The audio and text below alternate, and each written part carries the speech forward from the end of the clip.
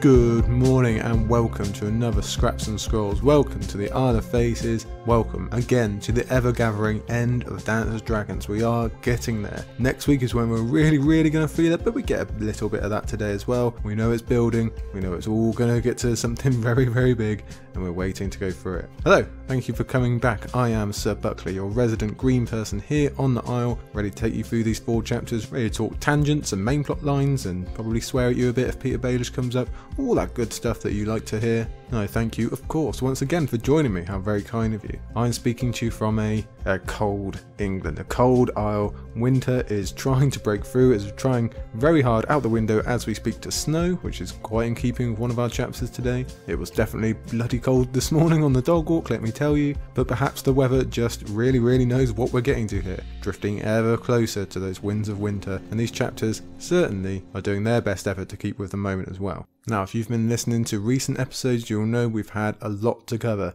We had a 3 hour and 50 minute episode, that was followed by a 3 hour and 30 minute episode. It's most definitely a sign of the big moment we're in in the series. There is so much going on. That's not really going to change today. If I had to guess, I don't think we're going to reach those lengths, although I could very easily be proven wrong. But then there's just a little bit less to cover today. We have the shortest chapter of the book included, so you'd think logistically not going to happen, but that doesn't mean it's any less important. We've got some big, big stuff, so don't you worry. But of course, in conjunction with episodes of that length, as you might guess, it means an awful lot of work. Very, very long hours of effort to put this all together. I'm not saying that just so you'll get some sympathy for me or to toot my own horn yet again.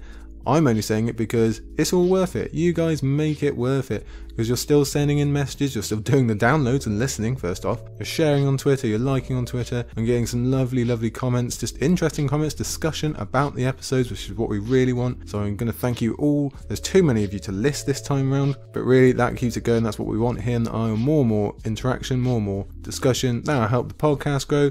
It helps fandom grow in its own little way. We just like to see more of that, so please do keep it up. I know I'm not always the quickest at replying to you, so if you are waiting, don't worry, I'll get you.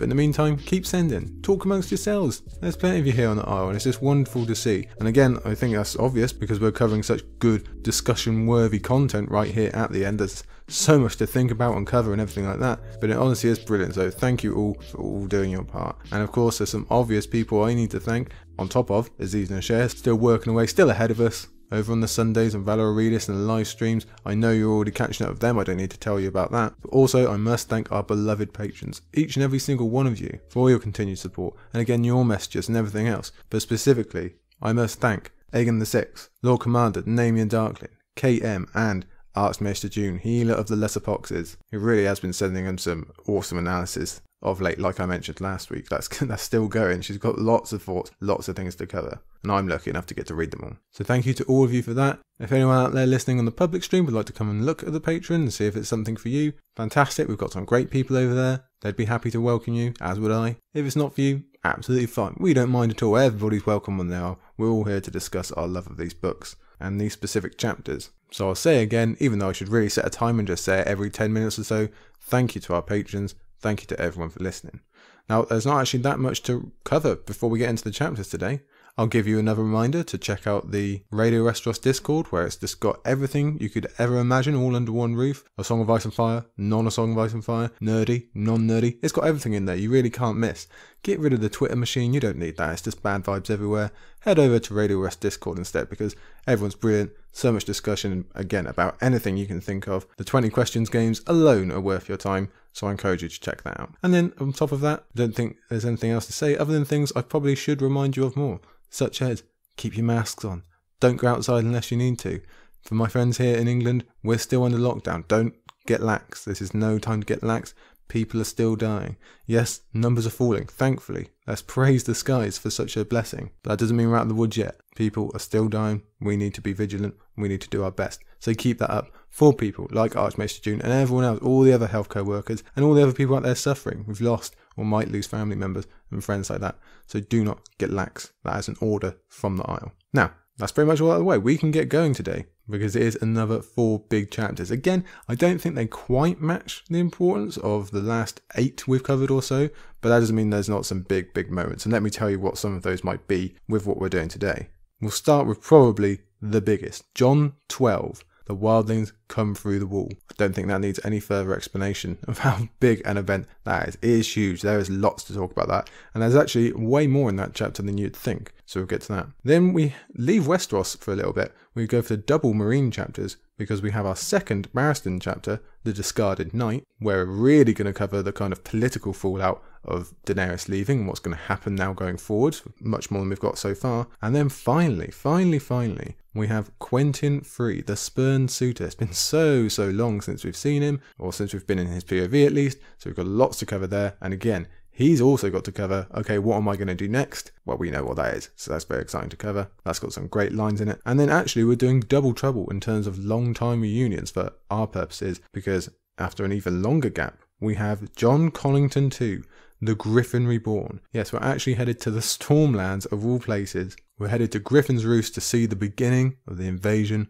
of Aegon Targaryen and his forces. That is a brilliant chapter. I'm really looking forward to covering that one with you. So let's delay no further here. Let's get on. We'll begin with Up at the Wall, Up in the North, Jon 12.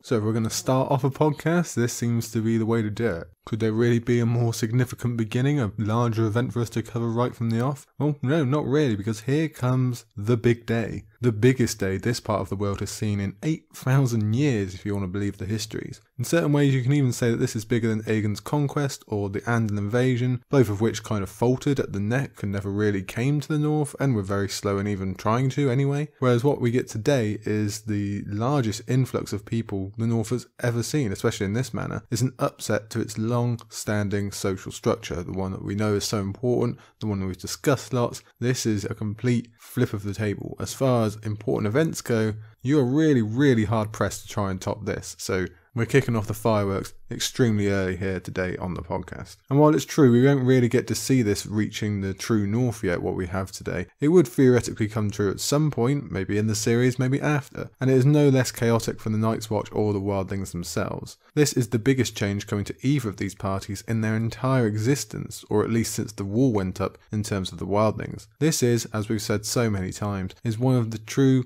staples of the world that George has introduced us to. As sure as Essos lies in the east, Dorne is hot, or water is wet. This is what the wall is for, apparently. That's what everyone takes it for anyway, to keep the wildlings out. Now they are coming through. So that structure, that social structure, the things that everyone's just sure of, these are the facts, is being taken down again. The paradigm is definitely shifting very, very drastically now. The world is changing, which is an easy sentence to say, but consider what it truly means for these people living in this world, in this society. And as it happens, our boy Jon is stood right in the middle of it. And if we want some mirror talk, and you know we do, this is his equivalent to Dany's storm deeds and her taking down of the slavery structure over in Slavers Bay. That was a complete breaking of how the world is supposed to work in that area, of how things have apparently always been. And you can even make the argument this case is even more ancient and eternal. Now, obviously, we know slavery has been around quite a while, but that specific structure of Slavers Bay probably isn't as old and as central as the wall is to the north and to Westeros, and we're lacking some of that magical element, or maybe we're not, but that's how it seems anyway. So we obviously have this real focus on the past, given that something very, very old is changing forever, is completely different now. But let's also think about the future, because this is the biggest ever step in preparing for the big fight, if you think about it. The big fight, by which I mean the overall plot man versus the others, humanity versus total annihilation, the point of the books. In this chapter today, we are taking 4,000 souls out of the hands of the others and placing them on the side of the living. Nothing that's been done so far, other than maybe the needed gaining of knowledge, most of which was achieved by accident, is as important. This is the biggest step to the unpayable debt of the fist of the first men. This is the first real blow for the chances of the others. And though we can easily imagine it all falling apart, and might even get a hint of that at the end of the chapter, right here on the day is beyond monumental. It is a win for humanity, the first one they've really got, to be honest. And as we've seen in recent chapters, or to be honest, all chapters in this book, Jon has always used that as his finishing point with his many arguments. You know why we're doing this, everybody, is to save humanity, is to prepare for this big fight. But really, we know that this today is something more core to him. He's saving lives. When you get down to it, that is his true mission. And no, he's not going to save all of them And yes, some of the ones who survive today might not survive that much longer, but overall, he is saving lives. He's saving a people, and that comes in the form of bodies, of customs, of history, and whatever else would have disappeared into nothingness if they had been left above the wall. Jon is just the ultimate force for good, and he's obeying his oaths. He's protecting people, just like a true Stark. Really, what is Jon but a human Winterfell right now? That is the purpose of Winterfell. We've said it many, many times. Now Jon is doing the exact same thing, just a little bit further north. And this, as much as anything, is the legacy of Ned Stark and his efforts as a father having an effect on the world. I know there's a good many people out there like to have a bit of parent bashing when it comes to Ned. I don't see it personally. Instead, I see Jon taking Ned's lessons on protecting a people, what it means to be a leader, what it means to be a lord or whatever else, and extrapolating that out to the biggest possible mission, the biggest possible way you can show off those ideals. I see Ned all over this and well, it's wonderful. Let's give praise to Jon throughout this chapter, even with all the potential pitfalls and all the drama we had in this last chapter and actually getting to this point. When it comes down to it, he is being awesome. He is the hero. And all of the, what we get in this chapter is in keeping with Jon as a person and with his arc that we've seen play out not just throughout this book, but really the whole series. The whole thing has been leading to this moment. Remember, the prologue of A Game of Thrones was designed to make us aware of this ethereal, otherworldly threat, this ghostly thing that we had no idea what it was. But the actual plot of that prologue was about Mance Rayder and what he was up to. So you go from that to Benjen and him trying to find things out, to the Great Ranging, to Qhorin Halfhand, to Jon's time with the Wildlings and Ygritte, to the battles at the Wall, to Jon's dance arc, and that's all been building towards this one moment. It's actually a bit surprising to sum it up like that and to look back and really realize how, yeah, this has all been one river charging down, flowing down into this one point as wide as the gate of the wall. And no, it's definitely not the end of said arc, and there's definitely not an end to their many, many problems, but it is a gigantic symbol, it is a huge day, and it is just amazing to think of the plot coming together like that, of this paying off of everything we've seen right from the beginning.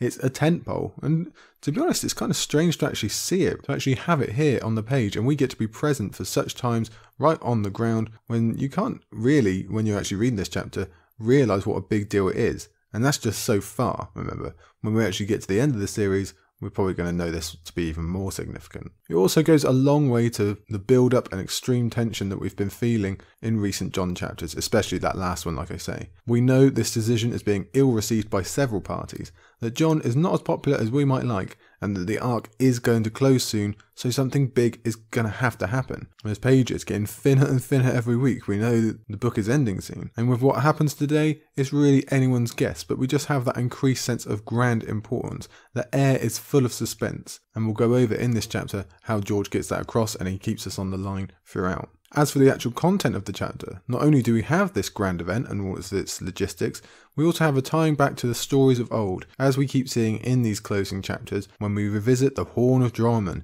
and the original plan of Mance Rayder. We have a dire update from Cotter Pike to remind us that even though this is the more symbolic happening at Castle Black, and it also being an agreed upon event, there is a similar critical attempt going on elsewhere. And finally here, before we actually get into the text, let's be aware that this is the second to last Jon chapter. All that remains after this is the one, and I know you know what I mean there, so that's going to be very, very very difficult to actually get to and read again and talk through but that is coming up. And after this, we actually have the biggest Jon gap of the entire book. We've spoken about that lots, how Jon and Dany take these gaps at the end. This is a 10 chapter gap between Jon 12 and 13. His largest previously was a couple of 7 chapter gaps much earlier in the book, so this is something monumental. That's obviously by design from George as everything else wraps up. So we get that peak, that high, high peak of drama right at the very end there. So I think that also lends something to just how monumental a moment this is that we can have a 10 chapter gap after it. But that's enough talk. Let's actually get into it because there's a lot to cover. Because even with the grand moment, even with the grand plot and everything that goes along with that, what we actually start with before we even get to that main event is a dream. We're no stranger to Jon Dreams, even if they aren't so numerous in Dance as with other books, but this one is one of the most important we see from him, one of the most telling. At least that's how it looks to us right now. And it's a poignant dream, both for its content, Jon defending the wall against the wildlings he's about to let through said wall, but also just for the timing. This is a grand day that will make ripples through history and all possible futures, so perhaps the significance of this event is what sends a significant dream to go along with it, as if they are linked, or as if Jon needs to have this dream right now. Maybe that's of importance that it comes on this specific night. Now, in fairness, even without the actual waking events of the day still to come, this dream would really stand out to us because it seems to be one of our best ever descriptions or hints or glances at what might be the endgame of the series, or something close to it, or at least how Jon relates to it. The defense of the wall against the army of the dead. That's what it looks like. Maybe that's not what it means, maybe that's not what it represents, but that, on first look, is how it seems to us. And again, I'll say it, this is what the series is about. It doesn't get any bigger than that. This is the point of the series. You can see how we're moving into the final arc here, how Dance is really trying to signify that to us, the end of Dance specifically. And as we've already mentioned, this is what the whole chapter is about. So you can see how sleeping and waking events are so linked up here, and they really do buoy the importance of this dream up. And let's, let's break it down properly now, because it does deserve our due attention. We open with this line. That night he dreamt of wildlings howling from the woods, advancing to the moan of war horns and the roll of drums. So at first take you could be persuaded that this is just Jon simply remembering the battle for the wall from Storm of Swords. We saw wild things pouring from the woods back then. This has happened, so maybe his mind is just reliving that and forcing him to think on the fact that he once fought against the people that he's now saving. Or if you want to go a bit further, especially for an opening line, you might even imagine that Jon is having a premonition here, and we could take this as a sign that Tormund will renege on the deal and actually come out swinging, even if the logistics of who is actually left in Tormund's band puts that to bed pretty quickly. I suppose we could think it was the Weeper. We're obviously going to find out in a moment that's not the case, but you could think that on first time reading. Although those ideas do tend to drift away pretty quickly, I would think, as you continue to read. The next line is a description of the drum beats that bring the wildlings out in their attack, and we know George always loves the drums being part of a particularly doom-filled or important moment. But I'd like to point out that the particular writing device George is using here, boom, doom, boom, doom, and so on,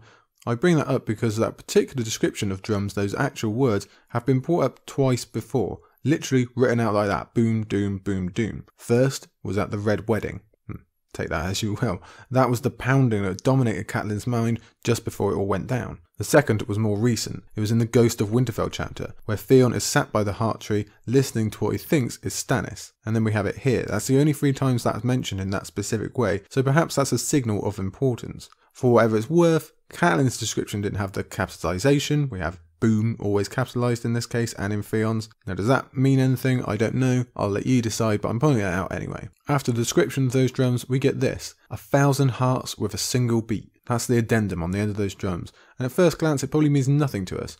But as we get a few lines lower and start seeing that Jon's enemy is not wildlings at all, that line takes on a bit more significance. This can be a clue that what he's looking at are whites, all bodies controlled by a singular being or an other or a Night King figure, whatever it is going to be. To go with that, the next sentence is others riding chariots of made of bone. Now, I'm having a bit of fun here, and I'm suggesting that this is supposed to tell us that there are others including in this because the word is capitalized, but that's obviously because it's the first word in the sentence. Still, I can see why people would latch on, and I can imagine George having a bit of a chuckle at that. After the description of giants and other wildlings coming for him, it's Jon now standing atop the wall, ordering to feed them flame. So that's our second clue because we know what type of enemy requires the feeding of flame to defeat them, especially as we start to get some real Fist of the First Men flashbacks in this dream. But then we learn that Jon is alone atop the wall. It is him alone trying to defend the world, and this seems like a key idea to tap into. There is one man defending on the wall, when on this waking day, Jon is inviting thousands to come and join him in that defence. The wall won't have seen this many people upon it in centuries, maybe even longer. So what has happened to all of them? Does it signify that this plan will all come to ruin?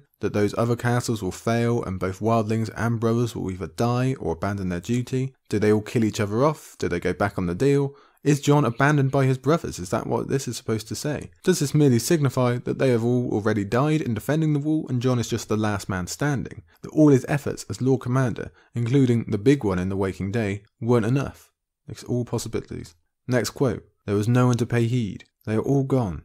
They have abandoned me. So Jon is saying no, it's not defeat, it's abandonment. It's a straight up choice they've made. We could guess this is his mind processing the background worries he has about mutinies and how people are thinking of him, and Bowen Marsh calling him a traitor in his most recent chapter, and all those very real concerns. Maybe this is just how they are coming out in his subconsciousness, while Jon tries to ignore them in his actual conscious form. Or the idea might be of Jon feeling alone in his current efforts. So many people argue against him in Bowen and Selyse and probably Melisandre by now, etc. etc. The list goes on. It feels like he alone is actually trying to save people and win this war, while everyone else is just making trouble and complaining and not having their proper priorities in place. We know he does have his supporters, sure, and Stannis is at least semi aligned in the same purpose, but we also do know how lonely it feels for John in that purpose. And just in general as well, let's not forget the kill the boy theme hasn't gone anywhere, even if we're not talking about it as much. Jon is a lonely man. Or we can take it as a message that only you can do it, Jon, that type of idea. It must be you leading the charge when it really comes down to it. In crunch time, the world is going to look to you. Now, Everybody out there knows I'm a big supporter of the Team Azor Ahai theory and that role being filled by multiple people. I think we all expect Dany to have a pretty major role, but there's many, many ideas, isn't there? Still, that doesn't mean that Jon can't have one of, if not the major role in protecting the world. His arc is certainly more than set up for that, isn't it? Or maybe this is even just being really literal. Other heroes will play their certain parts in certain places, but for Jon, it will be defending the wall. Maybe that will remain his duty. Now, let's return to the action because we've only made it to the second paragraph. Enemies are now sending their own burning arrows up to the top of the wall. Hmm, that sounds a bit odd because we don't remember the wildlings using burning arrows and obviously the whites can't. So I wonder if this imagery of black cloaks ablaze is supposed to be a symbol of either Jon or the Night's Watch coming into conflict against Daenerys and her dragons. Or maybe the others capture a dragon and use it against them. It's very possible. Or there might be another idea to discuss, but we'll come back to that one in just a moment. For now, another quote. Snow! an eagle cried, as foemen scuttled up the ice like spiders. And, and this is very telling, isn't it? An eagle, as we've seen before, is associated with warging and being called Snow all the time is kindred with Mormont's Raven and others as well, who we normally believe to be connected to Blood Raven. Now, in a minute, we'll see that specific Raven shouting Snow to wake Jon up, so maybe this is just the old trope of a dreamer hearing a part of the waking world, or maybe it's hinting that Blood Raven will be part of this and of Jon's future, and maybe this is what his ultimate plan is, and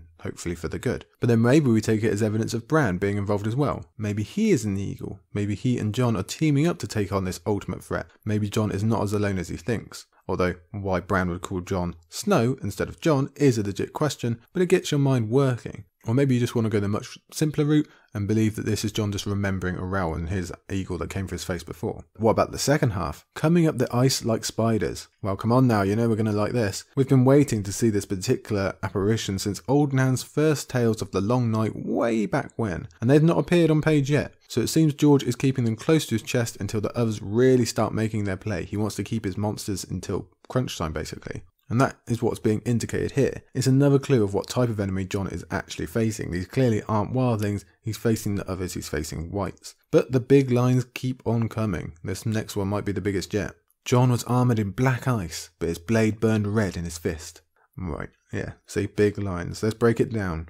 So, firstly, black ice. What does that mean? Does that mean a frozen fire of Valyrian steel? Is this Euron's armor that Jon has got somehow? Is it a reference to the White Walkers in general? Or is it just that Jon has both ice and fire in his armor and sword, respectively, to represent his two great bloodlines? Perhaps he's wearing some official armor of the Night's Watch. Remember once years ago, Sam bought loads of armor, but it wasn't black, so they didn't let him have it. Or perhaps is it a hint to another idea that I'm still going to ask you to keep in your mind? I'm going to come back to this one in a second. We'll do that one at the end. We can't help but make the comparisons between a blade burning red and the idea of what Lightbringer is supposed to be. No, Lightbringer isn't supposed to burn, but heat, burning, you get the connection. So we're also making those connections with Azor Ahai again, whether we want to place that solely on Jon's shoulders as a person and a role to play, or just to signify that this dream is detailing the absolute end events, the really important ones. Perhaps somewhere in the future, this is a sign that Jon learns the fire sword trick of Beric and Thoros, but maybe a true version rather than a trick. Maybe that's something that Melisandre does for him like she does in the show.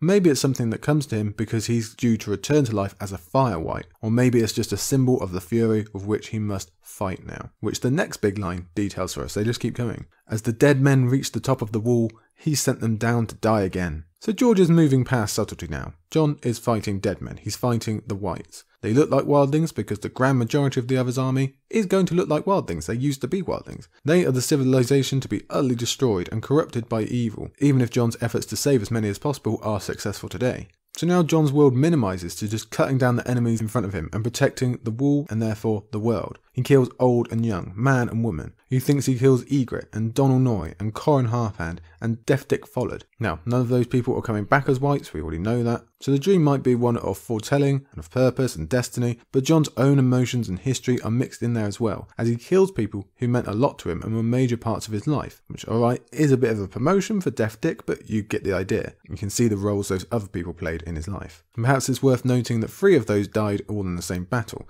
the pre-fight before Mance arrived, save for Qhorin, obviously, he was much before that. So I suppose maybe it's a surfacing of Jon's guilt in a way, although it's again strange that Dick is included. Perhaps it's just a general remorse. We see those roles the mentor, the lover, a comrade maybe. I wonder if that's hinting at who he might have to kill in the future, or other people who currently fill those roles may be becoming whites somewhere down the line. That might be possible. Then it all becomes way more personal for Jon, as it's Robb who appears. Robb who he takes down as he screams that he is Lord of Winterfell. So we're really delving into the deep issues now. The ones that might resurface when Jon comes back to life, if he is more basic and instinctual and angry and dark, maybe like we've wondered, maybe those deep issues do come right back up to the surface. And it's worth noting that he does mention Longclaw that time around so we seem to start off very Azor Ahai heavy, very Destiny related, before it slowly becomes more personal for Jon at the end. And here's where I'll link back those several ideas that I asked you to think of. So we had Jon armoured in black ice, we had fire arrows coming against him when normally they're supposed to go the other way. I wonder if this dream in some way is supposed to either signify or make us think that Jon might end up on another side from what we think. Is he going to be associated with the others in some way? Is he going to go over to that side in some way and join their ranks or do something like it? Is that why he's armoured in ice? Is that why there's fire arrows coming against him? And is that why he's moving against Winterfell? Is he corrupted in some way? Again, we don't know how he's going to come back. Is that going to play into it? We probably think not, but there seems to be hints throughout, not just here, but throughout the series that maybe that is going to happen. Some people do think it will. So perhaps there's just some element being uncovered here. Either way, the dream ends now as a gnarled hand seizes Jon and turns him round. Of course, we never see who that is, but there are a few decent candidates, of course. We've already mentioned Bloodraven, he seems to be the most likely, and if you're going to have a, a gnarled hand, then a guy who's half a tree, he seems like a pretty likely candidate. It could be Bran, maybe it's future Bran when he is all gnarled as well. I like the idea that it could be Benjen. I've even seen it said that it could be Tywin, the man apparently still out there beyond the wall somewhere, a man who can smell others and who has been described as gnarled before in the text. So maybe it could be any of them. I really like the Benjen one just because I miss Benjen, but I think I'd probably land on Bloodraven. Either way, now it's the Raven waking him, shouting snow again. Whether he's doing that because he's aware that Jon is having the important dream and is all worked up about it, or doesn't want Jon to see it, the, see the ending for whatever reason. Maybe it's the messing with Destiny stuff, or is he just trying to get across extra information about it? We don't know. Either way, it's a pretty important beginning that really gets you thinking, and we're not even off the first page yet. That was all about five paragraphs worth. There's a lot of interesting lines in there, like I said, a lot to consider overall, and much theory crafting to be done, and it again lends gravitas to the chapter and the growing of Jon's arc. It's all just getting really important, isn't it? We're breaking the paradigm. We're getting full on glimpses of probably the end of the series, some of our clearest glimpses ever. For all the extra thought we can put into it, this probably is just a sign of Jon being the hero and defending the world and being the dragon and embracing fire and whatever whatever else. I personally really like that idea of Stark bloodline being his armor, his Targaryen bloodline being his weapon. I just quite like that imagery. But whatever it might be, we're really, really on the high peak now. And that was just the dream that doesn't have any effect on the actual day. We've still got this chapter to cover. We have this quote The day had come. It was the hour of the wolf. Oh, you bet it is, Jon. Don't you forget it. And so that's just further lending to the moment, it, the it's all come to this kind of idea. In the clarity slash cloudiness of waking, Jon has a moment where the weight of the day actually hits him. This is huge, this is life changing, and it seems too big for just one young man to weather on his own. So we tie back to the beginning now as Jon suffers a bit of imposter syndrome and believes that other, older men from earlier in the story, old names that we haven't seen for ages, should have been doing this instead of him. No, no, Jon, you sell yourself short. Jeor Mormont would have probably been an abysmal choice for this, and Denys Mallister as well.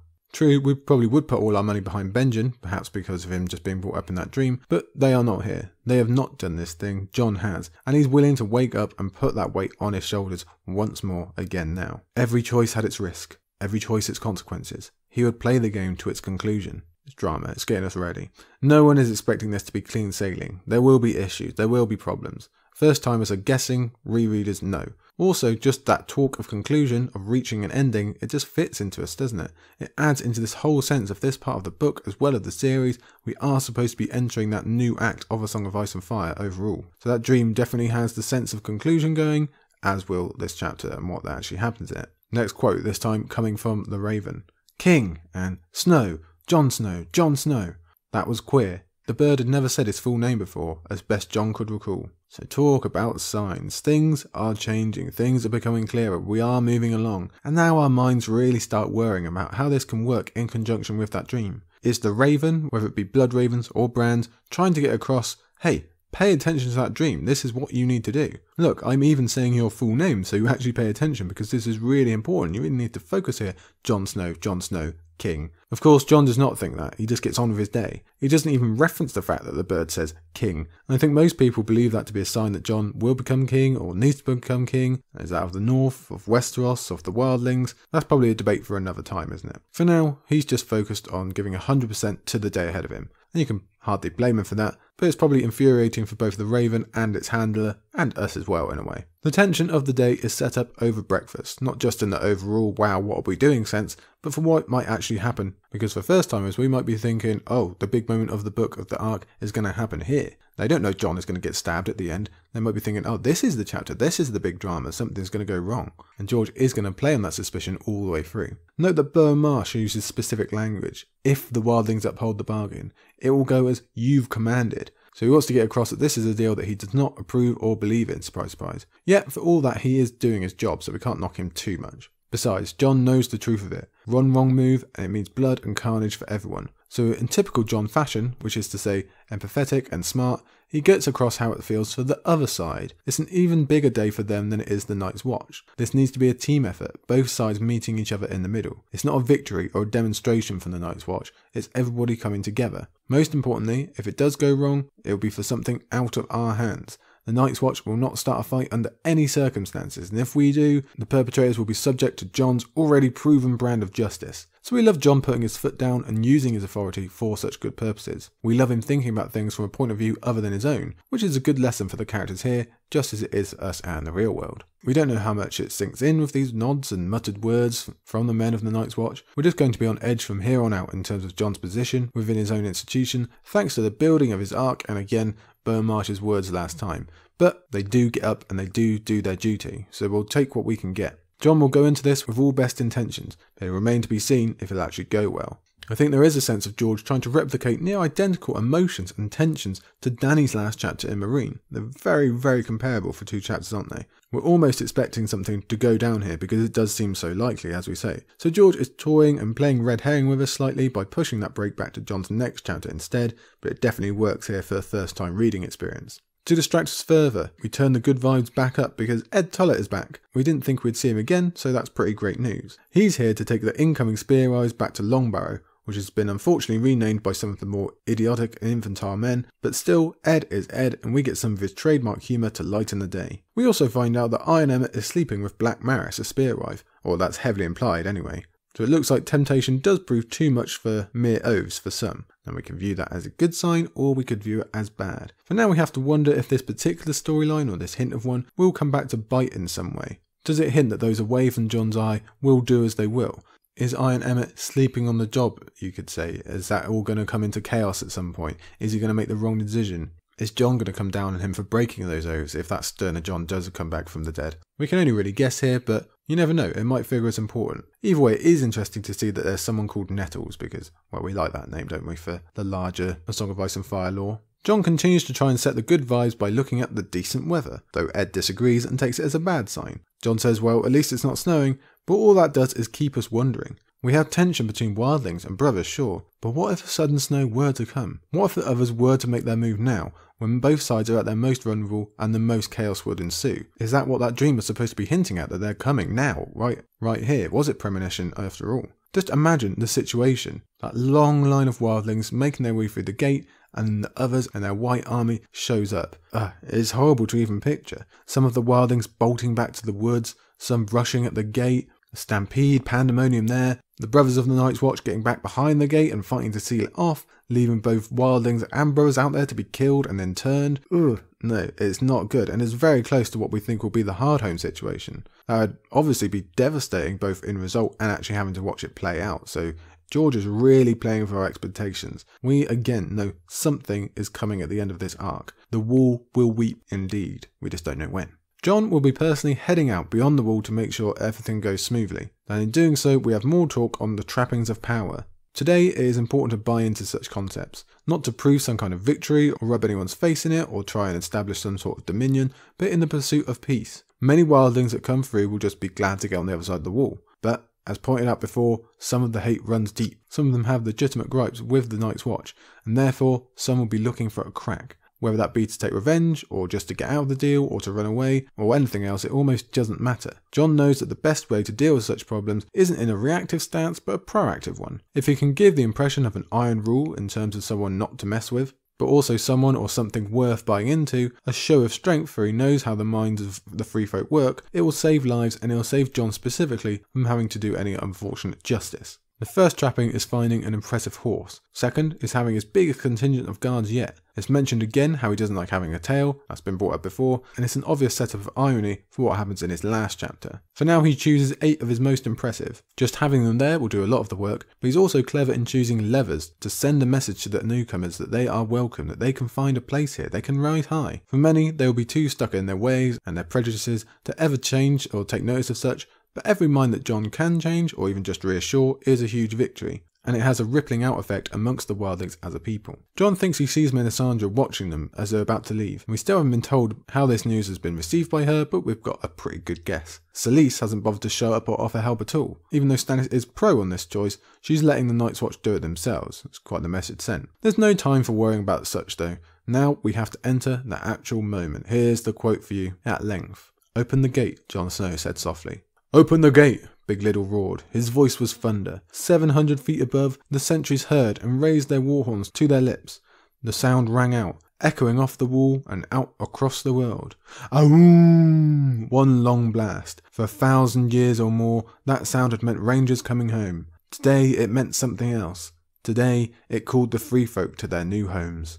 Well, but that is just the easy bit. This is just the beginning, opening the door. Yet we still have that sense of importance, of this being a real line in the sands of time that we are crossing here. This is the big moment. So Jon passes through the ice, along with all the men who have a part to play in this. Tension is kept up by having archers up above atop the wall, and don't think that that's not noticed by everyone on the other side as well. And then we find Tormund waiting on that other side. He has come, he has kept to the deal so far anyway, and he's also brought his own guards, so the two sides are more like each other than they would admit. Before they begin, Tormund requests Jon come and be presented before his people. He wants to dispel some of the mystique around both Jon and the Night's Watch, for stories are told to children on both sides of the wall. He wants them to see that these are just people they are dealing with, the same as them. And I love that inclusion. It's almost a little funny because we've obviously been dealing with it from one side of the wall and have seen all their stories and prejudices from the Seven Kingdoms. But for smart people like you and I, we would have always known that wildlings are people too. They have their own stories and prejudices. They've got their own things to deal with because they are normal 3D people as well. George fills them out as much as anyone else. Tormund's aim is to not make Jon slash the Night's Watch seem so intimidating so that he can ease the day for his people who, let's face it, are really up against it right now. This is a huge deal with plenty for them to be worried about. Or you could be cynical and think he's just trying to lower Jon a bit to boost up his own ego, but I go with option one. But Jon does not like that. That is a lesson I would sooner they never learned. He wants the wildlings to remain in awe of the Night's Watch because that will keep them in line and stop things from turning to blood. The irony is that the two leaders are really trying to achieve the same thing. Jon says, let's keep them all in line. That will dissuade anyone from taking liberties and starting violence. Tormund says, let's relax them a bit That'll keep them from hyping themselves up over the line and starting violence. So there's a deep irony in those two different approaches. But it's Jon who gets the last word as he summons Ghosty to come speeding out of the gate so fast that Tormund nearly loses his horse. So message sent. Tormund isn't overly happy about that, but he accepts, blowing his own horn, and then we begin. From dawn till dusk, Jon watched the wildlings pass. So here we are, a day that belongs to history. But first, there is the blood price, the coming of the hostages to ensure there is a rigid agreement and threat that guides the rest of the day. Tormund tries to instill a little bit of guilt in Jon for asking this price, but gives the sense that really he knows the necessity of it. Jon thinks of just how massive a moment this is for these boys that are coming now, though he ignores that he did a semi similar thing himself. He was only a tad older than most, but he was still travelling to what was basically another world serve as the lowest of the low in this old order. Of course, he also thought he was following his uncle for cool adventure times. These boys have no such compunctions and have the much larger issue of actually crossing the wall into this new world, into going into the arms of the enemy, which really dwarfs Jon's own experience in the truth, but you can see the comparison. Yet he makes sure to note the bravery, the stiff upper lip is another quote for you. The boys were going to a place that none had ever been before, to serve an order that had been the enemy of their kith and kin for thousands of years. Yet Jon saw no tears, heard no wailing mothers. These are Winter's people, he reminded himself. Tears freeze upon your cheeks where they come from. Not a single hostage balked or tried to slink away when his turn came to enter that gloomy tunnel.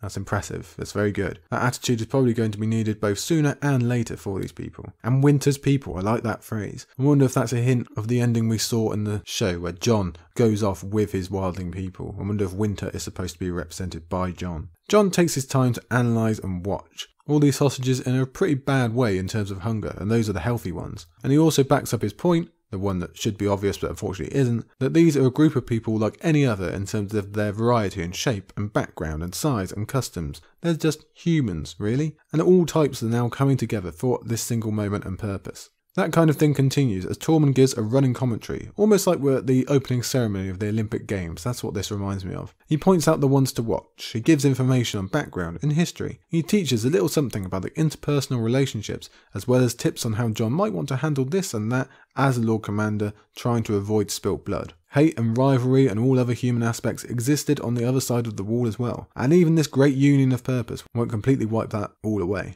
We get more and more of that of the highlighting of specific names, proving how valuable to someone like Tormund can be. For instance, we have the Gerrick Kingsblood Raymund Redbeard mention. We'll bring that up again in a moment because that will come up in Jon's final chapter. But then we have this quote, which is probably more important to us on first read. Of a certain runty rat-faced boy, Tormund said, That one's a whelp of Varamir Sixskins. You remember Varamir, Lord Crow? Well, you might as well be asking us, do we remember Varamir? I think we do. This is a bit of a blast from the past. takes us right back to that particularly evil chapter, the evil prologue. This does turn out it was kind of a trendsetter, wasn't it? And firstly, we just have to feel bad for this kid for having Varamir as a father, but we also wonder if any of the gift remains in him. We wonder about Varamir with Bran. We wonder if this is a hint of wights coming as they did for Varamir. It's just amazing to have him brought up again here after so long. And it's even more fun just to see how the others hated him, his own people, which was certainly well deserved, we know that. Two girls try to sneak in until Tormund gets them out of it. Though he argues that girls are just as valuable as boys, both as hostages and warriors. That's a nice progressive attitude that we like to see. One that Jon would probably agree with in the right situation, especially if he ever meets Arya again. But it's also not his point right here as he informs Tormund about brave Danny Flint and what became of her. That's an awful story always to be reminded of, but it's also a signal from Jon that he's under no illusions. He's not running a castle full of angels here. It's a good reminder, again, that it is the overall mission that counts, not the individual morality. Not here, not now. And it's also a reminder that both sides are capable of such crimes, even if some brothers insist that only one side is. The final hostage, sealed just on that stage, is Dryn, Tormund's own son, sent as a sign to both Jon and his people. Tormund is not exempt. He is suffering the same as everyone else. He's being a good leader. And Jon acknowledges that by making Dryn a page, a place of honour for the deal that was struck. Whether Dryn wants to be a page or not, we don't know, but both he and Tormund faced the task bravely. And it's always good to slot in a reminder that Jon believes Bran dead by Theon's hand, as mentioned here. That belief will likely become important again at some point. I see Bran and Jon's stories converging, but there's also a possibility of Theon being sent to the wall, however unlikely. You have to wonder, how would Jon possibly react to that? He'll probably be long past worrying about such barriers if the wild Jon theories become true, if it even did happen, but whatever state he was in, it would be very hard for Jon to accept Theon considering his past crimes. It's probably lucky that he doesn't turn up now because Jon wouldn't be able to resist, and the favouritism, the Lord Commander does what he wants rumours would start up again pretty quickly. So we get another blast on the horn from Tormund, and now we're on to section 2. The ones aren't hostages, but people that will actually be manning the wall and maybe even saying the words the warriors, all a thousand of them. So there is quite a few.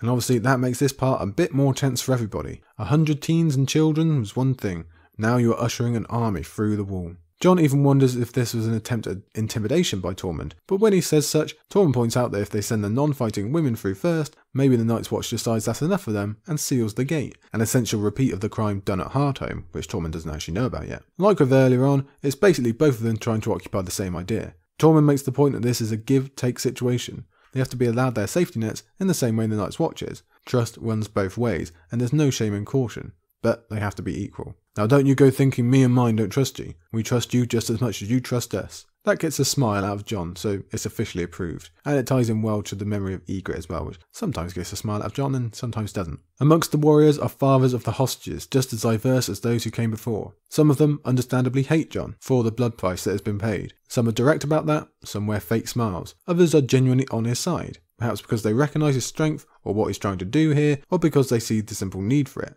Either way, it's got to be a little bit of a boost to Jon's ego. And again, we get the mention of Gerrick's King's Blood, just setting up that storyline to come with Selyse that we'll discuss next time in Jon's last chapter. How big of a deal is that going to be, especially with what happens at the end of Jon's last chapter? We don't know, but it's good to see the setup. Yet more names pass, and maybe some will make their mark in Winds as well. At least some of them have to, you would think. But for right now, they keep on streaming through, they keep on paying their price. And we get a few notes of interest here, such as a broken sword being presented as the treasures are paid in, and you have to wonder is that the broken sword of Waymar Royce? Could be, does look like a pretty special sword with diamonds inlaid in it. Well, we probably won't ever find out, but it's pretty cool to think of. There's also a mention of a warrior witch named Morna with a weirwood mask. I would like to know more about her, please. And there's chariots, just like in the dream. So Jon was seeing something of the present. And there's reindeer as well. Reindeer. Brilliant. Tormund and Jon drink together, as Tormund promised in the last chapter. That's a pretty big symbol of friendship here, as they watch a whole people change their lives forever. You're a good man, Tormund Giantsbane, for a wildling. Better than most might be, not so good as some. So Jon's actually getting into the spirit of it a little bit here. Good for you. They keep on watching, they help get a stuck Gart through the gate, which finally brings up the subject of the Horn of Joramun. Jon states that Mel burned the horn. Is a fact to him, and it's pretty important as a major problem for the safety of the wall and therefore the world was ended. So while we might quite like the idea of Tormund hooting in derision over such a claim, his actual words are pretty damning. And what it does is amount to the idea that the horn Melisandre burned was a fake, one they found in a giant's grave while searching for the true horn when Mance's plan was still to bring down the wall if needs be. But because the thing really looked the part, as we can attest to, Mance had the idea to just say it was the Horn of Joramun once he couldn't find the real one. The threat, maybe, would still be enough to force a peace and get his people through the wall, as we remember from the end of Storm of Swords when Jon went to go and treat with him. It's a discussion we've had before, so I won't repeat it too much for you, but it's come up at that burning of supposed Mance. We had that moment back in Storm, like we say, and we also had another moment in Storm back when Ygritte claimed that they never found the horn. So there's all these conflicting reports, and Jon doesn't know which to choose right now. Had Mance Rayder lied to him, or was Tormund lying now? If Mance's horn was just a feint, where is the true horn? He's got no clue, but let's face it, it's a pretty big deal. If the horn is real at all and still exists, it's a gigantic threat to the war against the others and obviously everyone's safety on the wall. Either it's still up above the wall and maybe the others can use horns, who knows, or it has been snuck below somehow and could easily fall into the wrong hands. Now obviously we think it to be the one that Sam is carrying, the one fatefully near to Euron now, that's not good is it? And that's mainly because it fits so well into the idea of the one not looking impressive enough to be the one with true power, just kind of fits into what George likes to get up to. Somehow Jon forgets his own discovery of said horn, I don't know how, buried hurriedly in an important place for the Night's Watch, which is frustrating for us, especially when Jon just essentially leads it right there. It is important to bring up horns again for us readers, they're going to have a major influence on the story still to come. Next week we'll have Victarion's second chapter, which will largely focus on a different horn. Sam still has his down south, and it's just another contribution to that idea of the big time and something that could undo all Jon has done there are things out there in the world that can still mess everything up. So it's just more of keeping us on the edge constantly from George here. And like I say, surprisingly, Jon doesn't give it any further thought, which is super weird. You'd think he would at least spend longer puzzling out exactly who is lying to him. Because we have all those different threads, don't we? Was Ygritte misinformed? Was she a liar? Or was she telling the truth? That's what it seems like. Was Mance a liar? And if he was, does that have implications for his mission down in Winterfell? Jon's wondering. Now, again, we know some of the truth of that. We don't know all of it. Maybe he was down there looking for the horn as well as I. We just don't know. What about Tormund? Was he lying? or was he misinformed? It doesn't really make a difference as he clearly doesn't have it. But if some people believe it's still around, if some wildlings do specifically, maybe they'll latch onto the idea of a possible vengeance, of bringing down the wall finally, after all they've done to the, the wildlings and everything like that. Now, you'd think that'd be a pretty stupid idea because they know what's on the other side of that wall, but humanity, unfortunately, is pretty stupid. And I'd love to talk more horn stuff with you. Maybe we'll get another time. Right now, probably don't have space to fit it in, but we'll talk about it at some point. Like I say, Victarion has to cover that next week. The distraction from the subject of horns comes, and to be fair, it probably gets us too, as Tormund grimly announces a snow sky, which hits back to what Edd said earlier on. And it gets us back on the tension loop again, as we imagine what it would look like if others appeared right now. It does seem like everything is going just a bit too smoothly for Jon and for this great event, so we've got to be thinking that, haven't we? George adds to it by making circumstances and the general atmosphere worse. Things just get a little bit more difficult. There's a bit more argy bargy, someone gets stabbed. So we just wonder if it's all going to build to something. And obviously, Jon has the same thoughts as he asks Tormund, who has proved a fountain of knowledge so far today, all that he knows about the others. It's an advantage of this deal that hasn't been brought up at all yet, really. These people know more of the enemy than Jon or his rangers ever will. That's simple fact, and Jon is thankfully aware of it. At first, Tormund says no, it's too raw, it's too dangerous. He won't even risk talking about it on this side of the wall, when they can still come for you. But then he does relent and starts giving up information. Some of which we've either had hinted at us or that we've guessed, but stuff that's valuable all the same. So we learn that they don't come on sunny days. That's good, but they're always there. That's bad. And what if they have the power to take away the sunny days and turn them into a snow sky, like the one it just so happens to be above them now? What happens then? Tormund also details that they were attacked as they came south, although never in force. They were just picked off as stragglers or the outriders, the ones who were ever outside the fires. We've seen such before on the retreat of the Night's Watch, but it does make you wonder why they never came at them in force, never came at the wildlings in force as they did on the Fist. Was there some special reason they wanted the Night's Watch off the Fist? Was it just because they were Night's Watch? Or was there some special reason they didn't attack the wildlings? Didn't seem like it, does it? And we're also told, again, that fire is important, of course, but it has its limits. Once they get their claws into the weather system, apparently it's game over. There's high emotion, again, as you'd expect, when Tormund has to revisit Torwynd rising as a wight. We get a real sense of what they're up against when Jon tries to comfort his friend. I know, said Jon Snow. Tormund turned back. You know nothing. You killed a dead man, I, I heard. Mance killed a hundred. A man can fight the dead, but when their masters come, when the white mists rise up, how would you fight a mist, Crow? Shadows with teeth, air so cold it hurts to breathe, like a knife in your chest. You do not know. You cannot know. Can your sword cut cold? We will see, Jon thought. It's an important distinction. The armies of the dead are one thing, and probably powerful enough to topple them on their own. They are horrific, they can destroy you, but they are the lesser problem. The others are completely unknowable, unstoppable.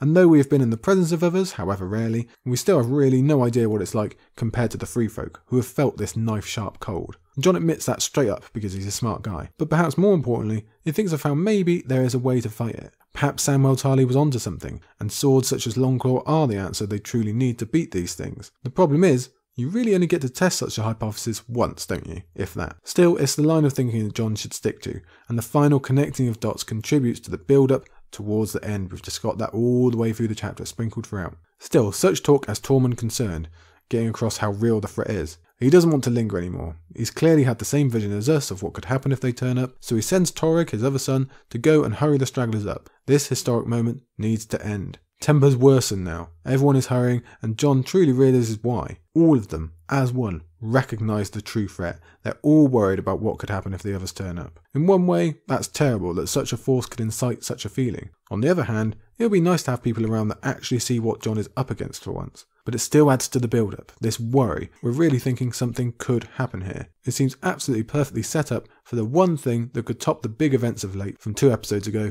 and if we need any further convincing, there's this. A snowflake danced upon the air, then another. Dance with me, Jon Snow, he thought. You'll dance with me anon. Damn. Talk about ties back to the beginning. Talk about ties back to the others. This is straight back to Waymar Royce, I'm sure you remember, straight back to our very first sighting of an other. So it seems absolutely primed for it to happen now. George has built us to an amazing peak, and yet no, it doesn't happen. But he really does get us there, doesn't he?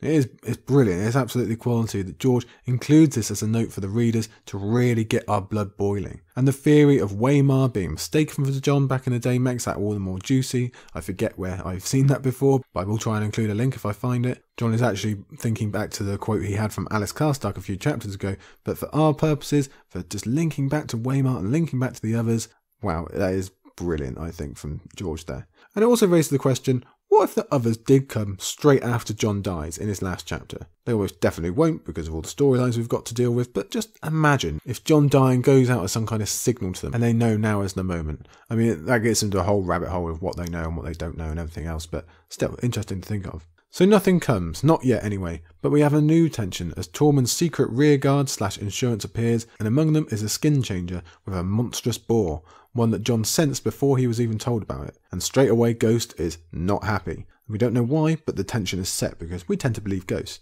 And what if they come to blows? We do not want to see our ghosty hurt, no thank you. We've also just seen a dragon hurt a boar, so will we see the same from a direwolf? Is that supposed to be some kind of symbolism for the Targaryens coming back against the Baratheons? Because even if their sigil is a stag, I say if you hear the word boar, you think Baratheon, in my opinion. But really, we're just left with questions here. Why don't these two animals like each other? What does it mean for the future? There's another aspect up at the wall that we can just not figure out. There's so many of them. Now we finally reach the end, and Jon insists on being the last one through, which is great leadership, but not before Borrock, the skin changer, warns him that the others are coming. So again, we get a great sense of the moment, one final jab here, one final burst of tension. And why the hell does he call him brother? How does he know the others are coming? It's just weird. Again, questions, questions, questions. We have this quote. That's done then, Rory said when they were gone. No, thought Jon Snow. It's only just begun. Eh, more lines in the past, and if you really, really want to stretch that out, you could say that might link that to what Arthur Dayne said back in the past. I don't remember if that's in the book or just the show, but I'm going to go and stretch it anyway. So all of it is done, and after such a day, the last person you want to talk to is Bowen Marsh. But we know the criteria for Jon chapters, so he comes now with his official count, which is annoyingly closer to his estimate than Jon's, and informs us of the hostages being moved off, as well as the spearwise, which will be important to remember for the next chapter. Jon gives the understatement of his arc when he says that Castle Black is far different now to this morning. He mentioned before about it's generally been a quiet place that's half empty. It did have a busy period at the end of Storm and the beginning of Dance, but even this far outpaces that. The place is full, and he actually sees children playing in the snow, which is just odd to think of at Castle Black, but it also reminds him of his own siblings, his own childhood, of the Starks. He can't really focus on it too much though, as it's always back to business when he gets back to his room and Clydas appears with news from Cotter Pike, which I'll read to you at length now. At Hardhome, with six ships, wild seas, Blackbird lost with all hands, two Lyseni ships driven aground on Skane, Talon taking water. Very bad here. Wildlings eating their own dead. Dead things in the woods. but Braavosi captains will only take women, children on their ships. Witch women call us slavers. Attempt to take Stormcrow defeated, six crew dead, many wildlings. Eight ravens left. Dead things in the water. Sent out by land. Seas racked by storm. Ooh, okay. That came out of left field a bit. So we had all this tension, all this sense of the moment and the build up and the build up and the promise, and it turns out we just had the location wrong. The others have chosen to strike at the juicier plum of Hardhome, though that's not hinted at till the very end of the quote. Let's break this down again because it's all important. So Cotter has lost half of his fleet already. We've got entire ships going down with all their crew. This is a disaster, unmitigated. It's a massive loss of life, a loss that Jon commanded. Don't think that's not going to weigh on his soul. Indeed, it seems like chaos on all fronts. You've got the Braavosi choosing only women and children, perhaps because of their own safety concerns, but the Wildlings obviously think that's a slaving thing, they're not going to react well to it. That has led to fighting between the Night's Watch and the Wildlings they're trying to save. Cotter is not the man to make a peace, unfortunately. So it's about as bad as you can get. A disastrous rescue attempt that will only result in more people dying. And again, the Jon guilt is going to come strong with that when he gets the time to think upon it. That's really a bad a situation as you can get until we hear that the others have come as well. It's Jon's nightmare come to life. Dead things in the woods.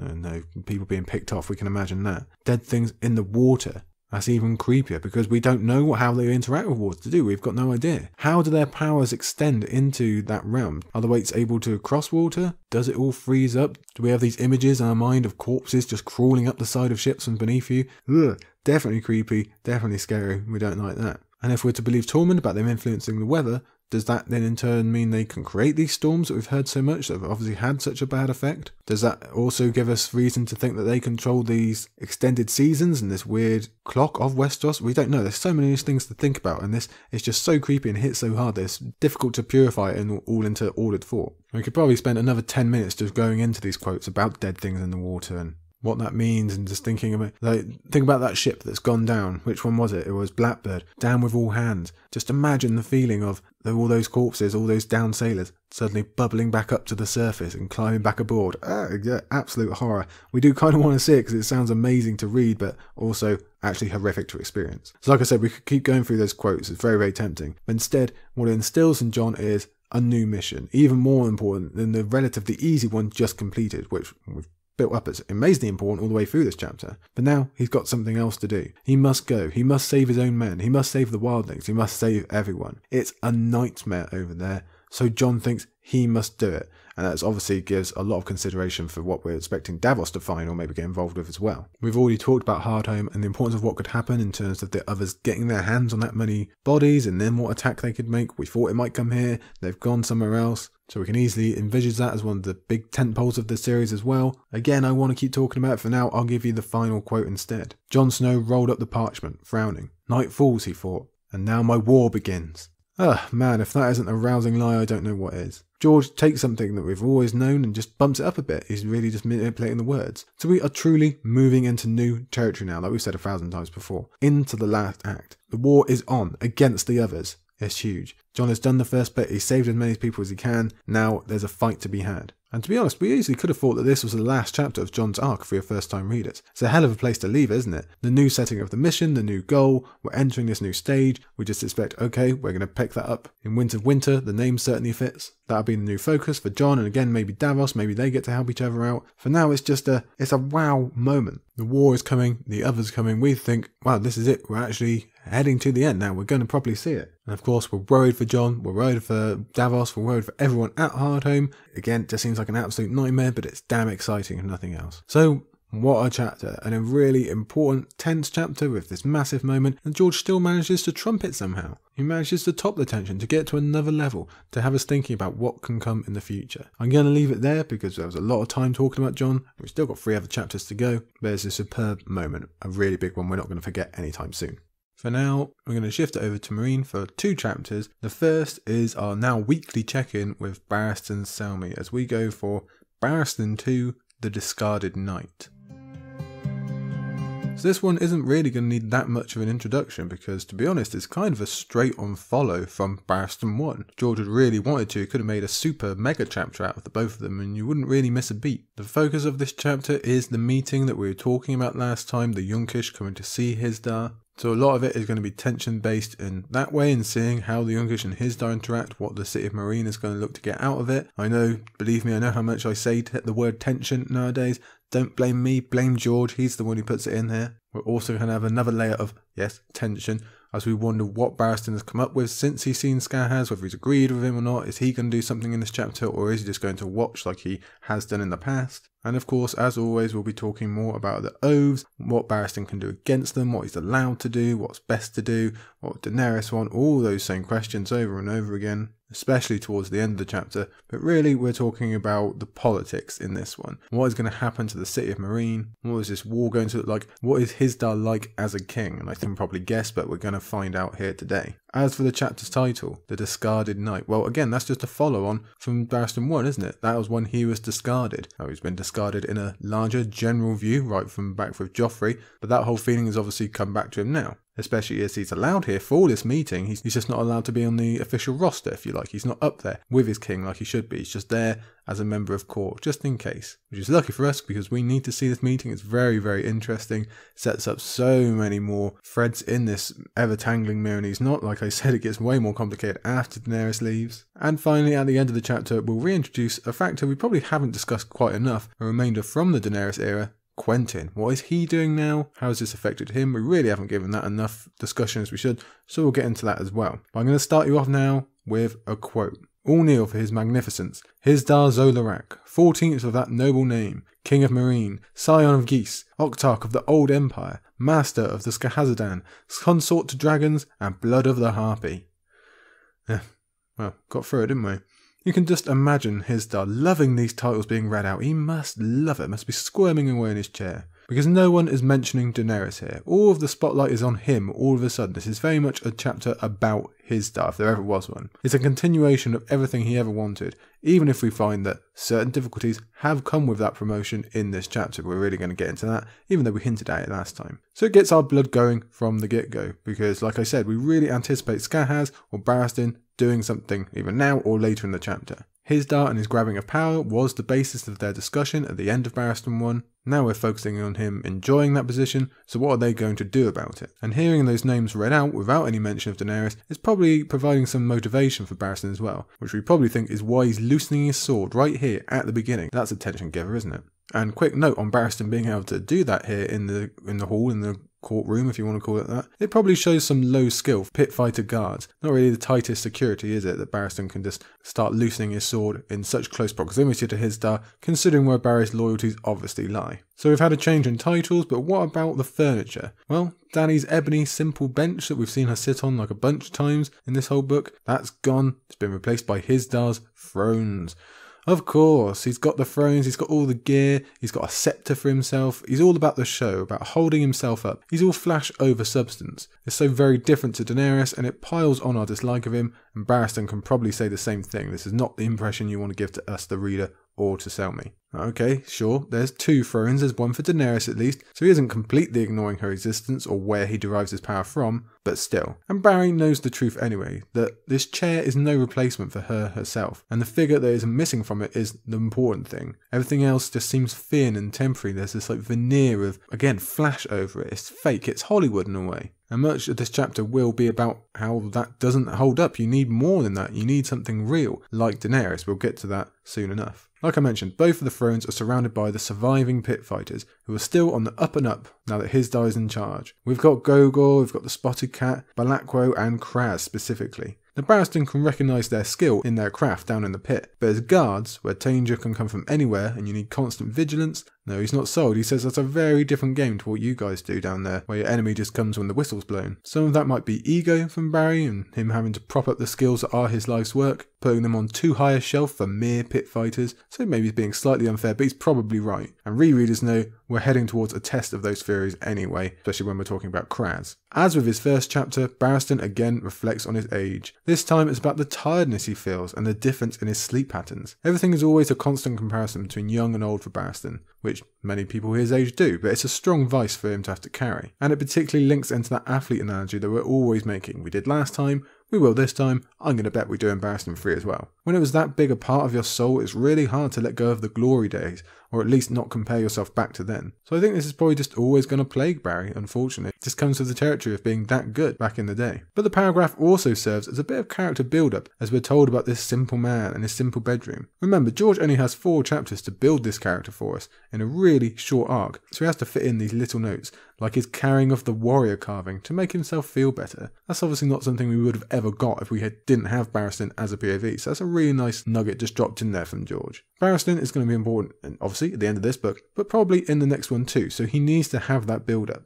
This particular poor sleep is born from frustration and second guessing over what has been laid upon him in his previous chapter by Skahaz. The questions of what is right and what would Daenerys want, and what do his oaths allow in relation to his Hizdahr specifically, to say nothing of how to best defend the city. Let's not forget the Volantines are coming. He made a step forward by mere inches at the end of that chapter, agreeing to interview the confectioner and talk to Grey Worm, but we're not told here what's come of that, so again, the tension is up there. We've got a hunch, but maybe it's gone further since then, but we don't know the result, or whether he's been back to Skahaz, or whether they've spoken again, and whether his worrying about oaths has increased, but we definitely suspect. So we've got different titles, different thrones. Other than that, it's the same hall, but it's full of different people. Not only is the woman of the hour missing in Daenerys, but all those who supported her, from the Dothraki to Missandei, even up to Daario Naharis. Now, we might not miss him personally that much, but the point is, this is a really intense entire regime swap, really, that's occurred here. It's almost like the softest, luckiest coup ever. Everything's just fallen into place, and now all of Dany's lot's been wiped away, all of Hizdahr's lot can step into their space. I still maintain that this would have been Hizdahr's eventual dream anyway, assuming he wasn't trying to kill Dany, just this scrubbing away of everything that is hers and replacing it with what is his. Circumstances have just allowed that to happen a lot faster. As he's looking upon these new people, Barry singles out Marghaz, Skahaz's replacement for the Brazen Beast, Hizdahr's cousin, who we meet on the page for the first time today, and who Barry basically sums up as the Meereenese version of Janos Slynt, i.e., a dick. So Barry does know his stuff, we trust that analysis. But then he also adds on to the tension by only now realising that Skahaz could still be here, among the many masks that have always made Barry so uncomfortable. And that's true, and it gives us the sense, hey, maybe we're going to see a plan be put into action here, hence the loosening of the sword. But it also adds on to Barry's hated atmosphere of the underhanded and the secret, and all of that that he just doesn't want to get involved with, even after the end of last chapter. And again, that's noble, that's great that you don't want to be a part of it, but you should be aware of it, especially considering your job for the last half century and what you're up to now. The hall thrummed to the sound of a hundred low voices, echoing off the pillars and the marble floor. It made an ominous sound, angry on the faces in the crowd he saw. Anger, grief, suspicion, fear. So there's definitely atmosphere again here, though we're not quite sure why this great gathering is so tense. On the first page, it was all painted as everything Hizdahr could want. Now we find that, like Daenerys, he is actually facing a court full of angry, grasping people that want something from him. A people divided, as Barristan details for us here. We have nobles come to complain about what happened in the pit and what is owed to them. That scales from damaged palanquins all the way up to fallen dead siblings. But the larger issue is the divide in this crowd between nobles and freedmen, a problem as real for Hizdahr as it was for Dany. They still hate each other, as we see as the little scuffle breaks out here. They still have very different priorities, such as the freedmen and women demanding answers about Daenerys and denouncing Hizdahr in the same breath. So it's not ideal for Hizdahr, not by any length. Having to still announce her as alive and returning soon, he needs that. He'd rather everyone just be satisfied with him, of course, but that's not the reality. So is this supporting evidence that he was not behind the locust because he knew this would be the reaction? Or was he just not aware that things would end up like this? Or is he confident, or was he confident in the past, that he could get through it regardless? We don't know. Reznak is doing his best to placate the crowd, but it's not really working. They're still buzzing like this hornet's nest. No one is satisfied. Everyone is angry. And Barry can see how uncomfortable Hizdahr is upon his throne, so at least we can take some solace in that. We know why, don't we? Because he's not supposed to be there. While Barry listens, he also watches. He's had enough practice at that over the years. He spies amongst this crowd of Hizdahr's one lone reminder of Daenerys, Quentyn, and his buddies down there out in the crowd. Obviously giving us some chapter sequencing because Quentyn's coming up next, but also raising a point, like we mentioned in the intro, that we've not even considered amongst all this Dany drama. What the hell happens to Quentyn now? How does he feel about seeing his ultimate mission, the woman he crossed the world for, fly out of the door, fly out the door? It's been a while since we had one of his POVs, but we well know what she means to him. She means the death of his friends, the sense of duty to his father, the hopes of all Dorne in their quest for maybe not just vengeance but survival. Although, note, the revenge thing never really comes up in Quentyn's mind. We'll talk about that later on. And she is most definitely tied to, to Quentyn's own sense of self worth. And she's gone. His mission cannot be completed. It's literally impossible. She's either disappeared or she's dead, and he's left with nothing. In fairness, now, Dany had already told him it was over prior to Drogon's coming. We don't know whether he actually took that in or not, but we can guess, and we're going to have it confirmed in our next chapter. Even if he did, her flying off on Drogon is a more definite ending and takes away any chance he might have clung to about changing her mind, or even at least establishing that relationship that Dorne could take advantage of when Dany does eventually come west. So what he's feeling or planning or even doing here is a complete mystery right now, as is his remaining part of the plot for first timers. What else could he actually do here in Meereen? Again, we're not going to have to wait too long to find out, but right here, we're confused. For Barry, it is another sort of tension. There's that word again, bingo. Daenerys told us and Quentyn what danger he was in by being here, and Barry obviously agrees. That has only increased now she's gone, and there's absolutely nothing to stop Hizdahr from acting on his dislike. So this is very dodgy ground indeed, especially when it looks like Hizdahr could really use a win, so that's another question that we have to lay at Quentyn's feet. For now, we have a rather important passage that we actually referenced much earlier in this project, I think in either Quentyn 1 or 2, concerning Quentyn's chances with Daenerys in the first place. You might remember me going on about it at some length, but I'm going to do it again, because this is where Barry is a tad unfair to both Quentyn and Daenerys in his assumptions and summations even if he does still land on the correct conclusion. I'll give you the quote. She wants fire, and Dorne sent her mud. You could make a poultice out of mud to cool a fever. You could plant seeds in mud and grow a crop to feed your children. Mud would nourish you, where fire would only consume you. But fools and children and young girls would choose fire every time. Hmm. Not too happy with this. Now, like I say, we covered it way back when, so I'm trying not to repeat myself, but it's just not doing quite right by either character, Quentyn or Daenerys, and it annoys me. Whether it's a case of an old man being out of touch with the younglings or whatever else, whatever excuse you want to use, it's just not on. Calling Quentyn Mud, first off, after he's crossed half the world, lost friends, fought in battles, duped sellsword, and thrown his soul bare in front of the world's most powerful woman, doesn't sit quite right with me. I realise he's talking more about personality than deeds, and there is some truth in there in what Daenerys saw. We read that in her own POV, but it's just not fair. It's not giving Quentyn his due. And at the same time, even more annoyingly actually, he's oversimplifying Daenerys here. He's not appreciating her for the complex, fully layered person she is, and really he should know, he spends enough time with her. He is putting all of her decision on looks and excitement, and all those feelings that he likely categorises as girly, if we were to ask him. The fancies of the young. Hmm. As we've discussed, those are important to Daenerys, and that's absolutely fine, that is valid and true. His mistake comes in thinking that that was 100% of what she was concerned with. Dany's decision was based on the betterment of her people. Quentyn brought a promise based half a world away. Right now, he did not have spears, he did not have Dorne, he could not help Daenerys or resolve the Meereen situation, and he had come at too late a time, where if Dany had chosen him, the peace would have come down and everyone would have suffered. Quentyn seeming pretty vanilla next to recent experiences with Daario, they played a part in the decision, sure, but it was a low, low percentage. The things I just mentioned, they are the real reasons. And Barry does not get that, and I say it's a disservice to his queen. I wonder if this oversimplification or underappreciation of her will eventually play a part in his expected betrayal. It would be fitting for a man whose job it is to always watch, to have seen nothing of what and who has been standing right in front of him. And just to compound those issues, Barristan even looks to Gerris Drinkwater, who has all of the charisma that Quentyn doesn't, and the looks to boot, and wonders if Dany would have made a different decision. And here we have to get mightily frustrated with Barry, because no, no, she absolutely would not have.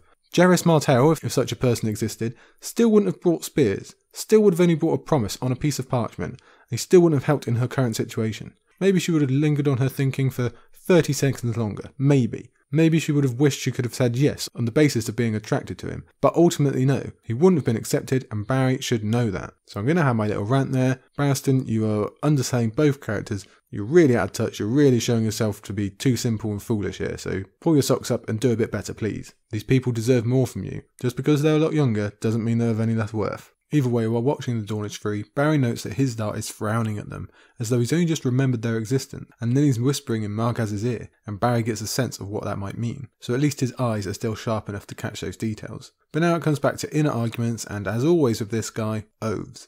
It can be almost frustrating to read how much he governs every thought, let alone his actions, based on those oaths and their laws. You can easily see how it would give way to a philosophy that we might see via Jaime or Sandor Clegane perhaps. It's just too restricting. Barry is obsessed, he's addicted to these oaths. In this case, at first, it's a reminder that he is not beholden to Dorne in any way. He doesn't owe Quentyn anything, which is true, but it's not the kindest way of thinking. Luckily, he then remembers Lewyn Martell, his old brother, and that he has an opportunity to honour that old teammate by helping his nephew because the danger is so very real. But Barry is so submerged in the plotting and the planning, game now that paranoia catches up with him when he has the idea that maybe Quentyn has earned that danger by being the one to poison the locusts in the hope that Hizdahr would be the one to eat them and die, and therefore that would open up the roster spot for him again. He is from Dorne after all, we know the rumours about Oberyn and poison, so the prejudice certainly fits. I think what this signifies is Barry just being overwhelmed by his current situation with Scarhands and all the shady stuff. He's not used to it, and now he's seeing a plot in every shadow. And it's true, this isn't a possibility that we've mentioned before for the first timers, but I'd be pretty surprised if anyone believed this chance when Barry brings it up.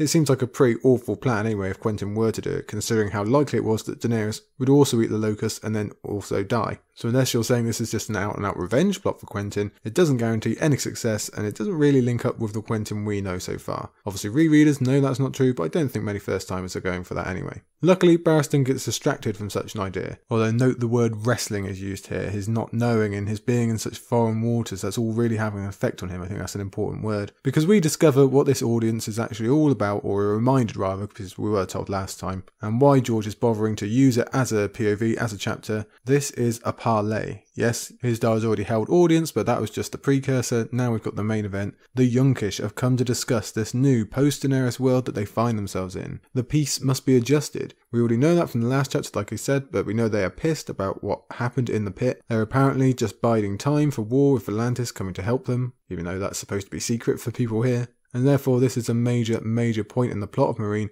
and we can see why Hizdahr is so tense. He had things sitting pretty beforehand, whatever his overall plans for Daenerys were, now, with blood having been spilt and the inclusion of Volantis, he's facing being cut out of their deal, cast aside and cast down, either by these people or by his own peers, so this meeting needs to go well. Those who were friends and likely conspirators beforehand could very easily be enemies now. That's just the name of the game. And with them, with the Yunkish, comes Bloodbeard, not to mention their other armed guards. So a message is sent right at the beginning here that this is not going to be a friendly call. And Barry notes that Bloodbeard is here but not Brown Ben or the Tattered Prince. So we have to wonder if that's because they are already considering their switching of sides. Is that what effect Tyrion is already having on the Second Sons, like we saw in his chapter last week? Did Dany's final plan with Pretty Meris have an effect, maybe? We'll get some answers in our next chapter of Quentyn, but for now it seems as though Bloodbeard and his Company of the Cat are the only ones fully invested in the Yunkish side, or they've at least been given pride of place. And as we've mentioned a few times, Bloodbeard is fully striding into the narrative now, step by step, and we can expect that to continue come Winds. He's really just becoming more important as he goes. For now, Barry considers dancing with him and is confident of his abilities. We're going to see that of Khrazz instead in this book, but maybe this is another duel we'll get to see at some point. Here's his quote Give me half a reason to dance with you, and we will see who is laughing at the end. There's just so much talk of dancing and dueling in today's chapters. Now, the mere inclusion of Bloodbeard in peace talks might give away that your stance is probably not going to be friendly and will probably just be quite aggressive instead, because we know this guy's stance on things. And it turns out we are exactly right, because as soon as Reznak moves forward and starts with his polite, near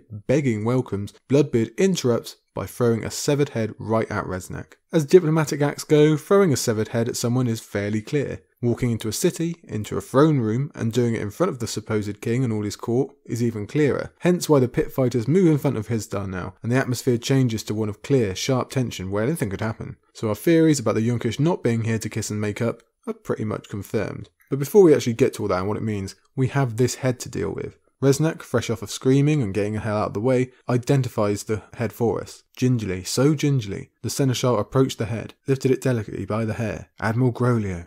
Ah, boo. That sucks, doesn't it? Obviously, rereaders have known this annoying little moment has been coming, and we've discussed it before in this book when Groleo was highlighted, but it still sucks because he was a pretty decent guy. As we mentioned at that time, he was basically just a neutral who got caught up in this grand gravitational well that is Daenerys Targaryen. He was supposed to be a delivery driver originally, take Barry and Belwas to Dany, then pick Dany up and take her back to Pentos and Illyrio. That's what he signed up for. And in fairness, when things took a turn and it didn't go that way, and Dany began her own conquest instead, he bought into it. He served her. He gave up his ships and he gave his advice and anything else. Certainly, we have to make it clear, she wouldn't have got where she did without him. Now, he grumbled along the way here and there. Certainly, as more of himself and his wares got used up in the name of said conquest, yet he still served and he didn't complain overly. A captain losing his ships is always so very hard to bear, especially in the Starly he lost them. But he did it still, he got on with the job. And then we had that earlier interaction in Dance with him where he did speak up against his queen, where he did want to finally go home and see his family and leave war behind because none of his opinions or wants were being listened to. And he didn't get that opportunity. He was instead offered up as a hostage and now has paid the ultimate price, all for just being associated with Daenerys, really. He had done no crime, he had only done what was asked. So it's a really sad moment. He won't get to see his family, he won't get to sail a ship ever again. He even had to die as a prisoner in the hands of these fools. So, nasty.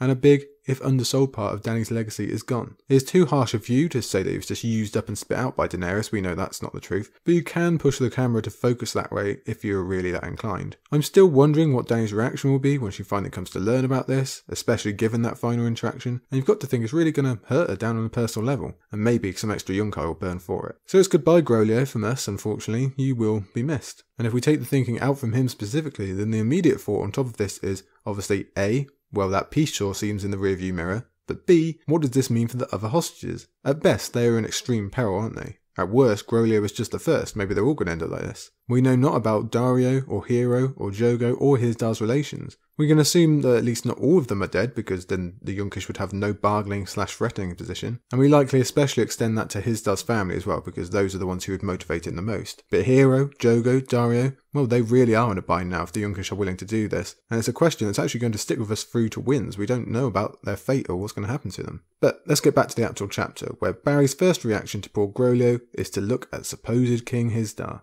and in order to analyse him, he refers back to the three kings of his career Jaehaerys, Aerys, and Robert. The three of them surely saw a lot of severed heads. Aerys probably collected them. But having one thrown at your feet in your own court is an entirely different matter. And Barry reckons the three kings would have essentially had the same reaction, just meted out differently. Jaehaerys would arrest his opposition instantly. Aerys would order their deaths on the spot, whereas Robert would try and do the killing himself. And for all we know of these three men, we can agree that Barry is on the money, which is what highlights Hizdahr here, because he does nothing. He is a deer in headlights, clearly frightened, overwhelmed by the moment and the pressure, and trying to think of how to save himself. He's weighing up his options again. He's supposed to be angry and defensive, like the kings that Barry mentioned, but that would mean angering the Yunkish, the ones who put him in this position in the first place, and might take it away again through an act of war. For all of this billboard talk and his new throne and his scepter, with all the glitz and glamour, Hizdahr is not a king, as if we were in any doubt. He is not worthy to sit in Dany's place. And speaking of Barry, why are you only thinking of the kings? What about the queen you've served? Why are you not wondering how she would react? That's another weakness of his, and I do wonder if this is just going to build of Barry just not valuing Dany as much as he should be because of her gender. That might actually be an issue come the next book. We're going to have to return to it. Now, we can't say of a certainty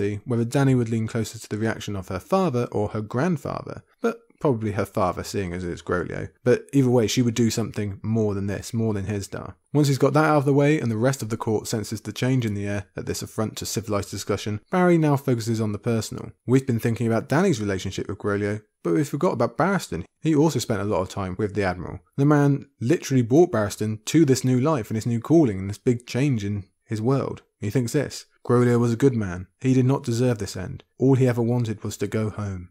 So that really is the tragedy of Admiral Groleo there, and I think that's an important story to remember in this grand saga, this grand tale of Daenerys Targaryen. To Barry, he doesn't like it. He can want to react as well. He's not happy both with the details or the fact that this is being done at all, but as always, it's not his place to react, so he keeps quiet for now. Instead, Hizdahr finally finds his voice only to hardly use it. He's stammering, he's unsure, and he gets bowled over by the Yunkish slavers, who announce their message of why Groleo had to die. The basic line of thinking is that this is repayment. They said that Meereen drew first blood, not them, that seven Yunkish entered the city under a hospitality agreement that they would remain safe. And we know that part. We saw them being wined and dined by Hizdahr during Dany 8. But their safety was not ensured, for Yurkhaz Yunzak, the Supreme Commander, was killed in the, in the chaos of people trying to get out of the pit. We know that already. Of course, we also know that was no fault of Meereen, as Barristan will point out himself in a minute.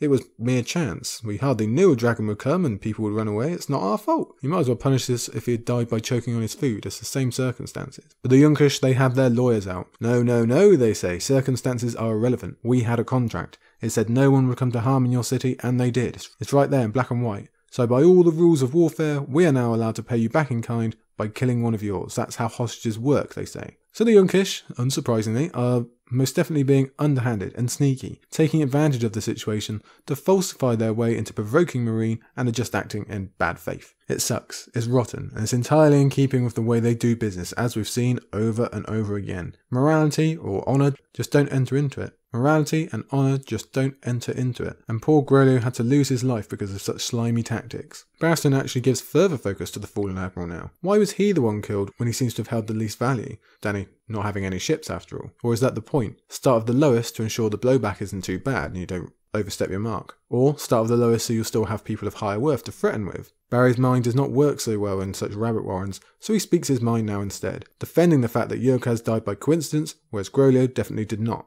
And if you want to be really technical, then it was Yunkish people that killed Yurkhaz more than Meereenese in that stampede, so this payback is obviously not equal in any way. The Yunkish, knowing that Barristan is absolutely right, decide to ignore the question entirely and instead attack proper protocol, claiming that it is not good manners for Barristan to be talking to them in the first place, that this is beneath them and is a sign of disrespect, you know, as if they haven't just thrown a head on the floor.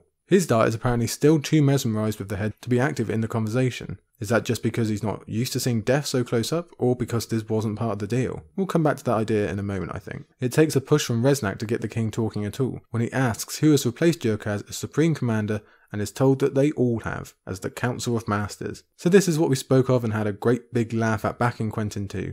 The moment when all the Yunkish lords decide that they are equally in charge. That in itself isn't a bad idea, it's later on when war is confirmed and they figure the best way to organise themselves is to build a leader rota where they all get a turn each day. And this idea is still hilarious to me. The absolute obvious stupidity of it, as if anyone anywhere could ever believe that this would work for anything, let alone a large battle or a siege. We'll see this best in Tyrion's chapters, especially once we get into the Winds previews, but I just can't let it pass because of all the examples of stupidity or being a moron that we might have in these books. I do think this probably tops them all. It is amazing. Still, like I said, the evidence will come later and we'll have to enjoy it then. Hizdahr surprises us all when he actually does stand up a little bit and calls this head throwing what it is a breach of the peace. But the Yunkish lawyers again point to the contract.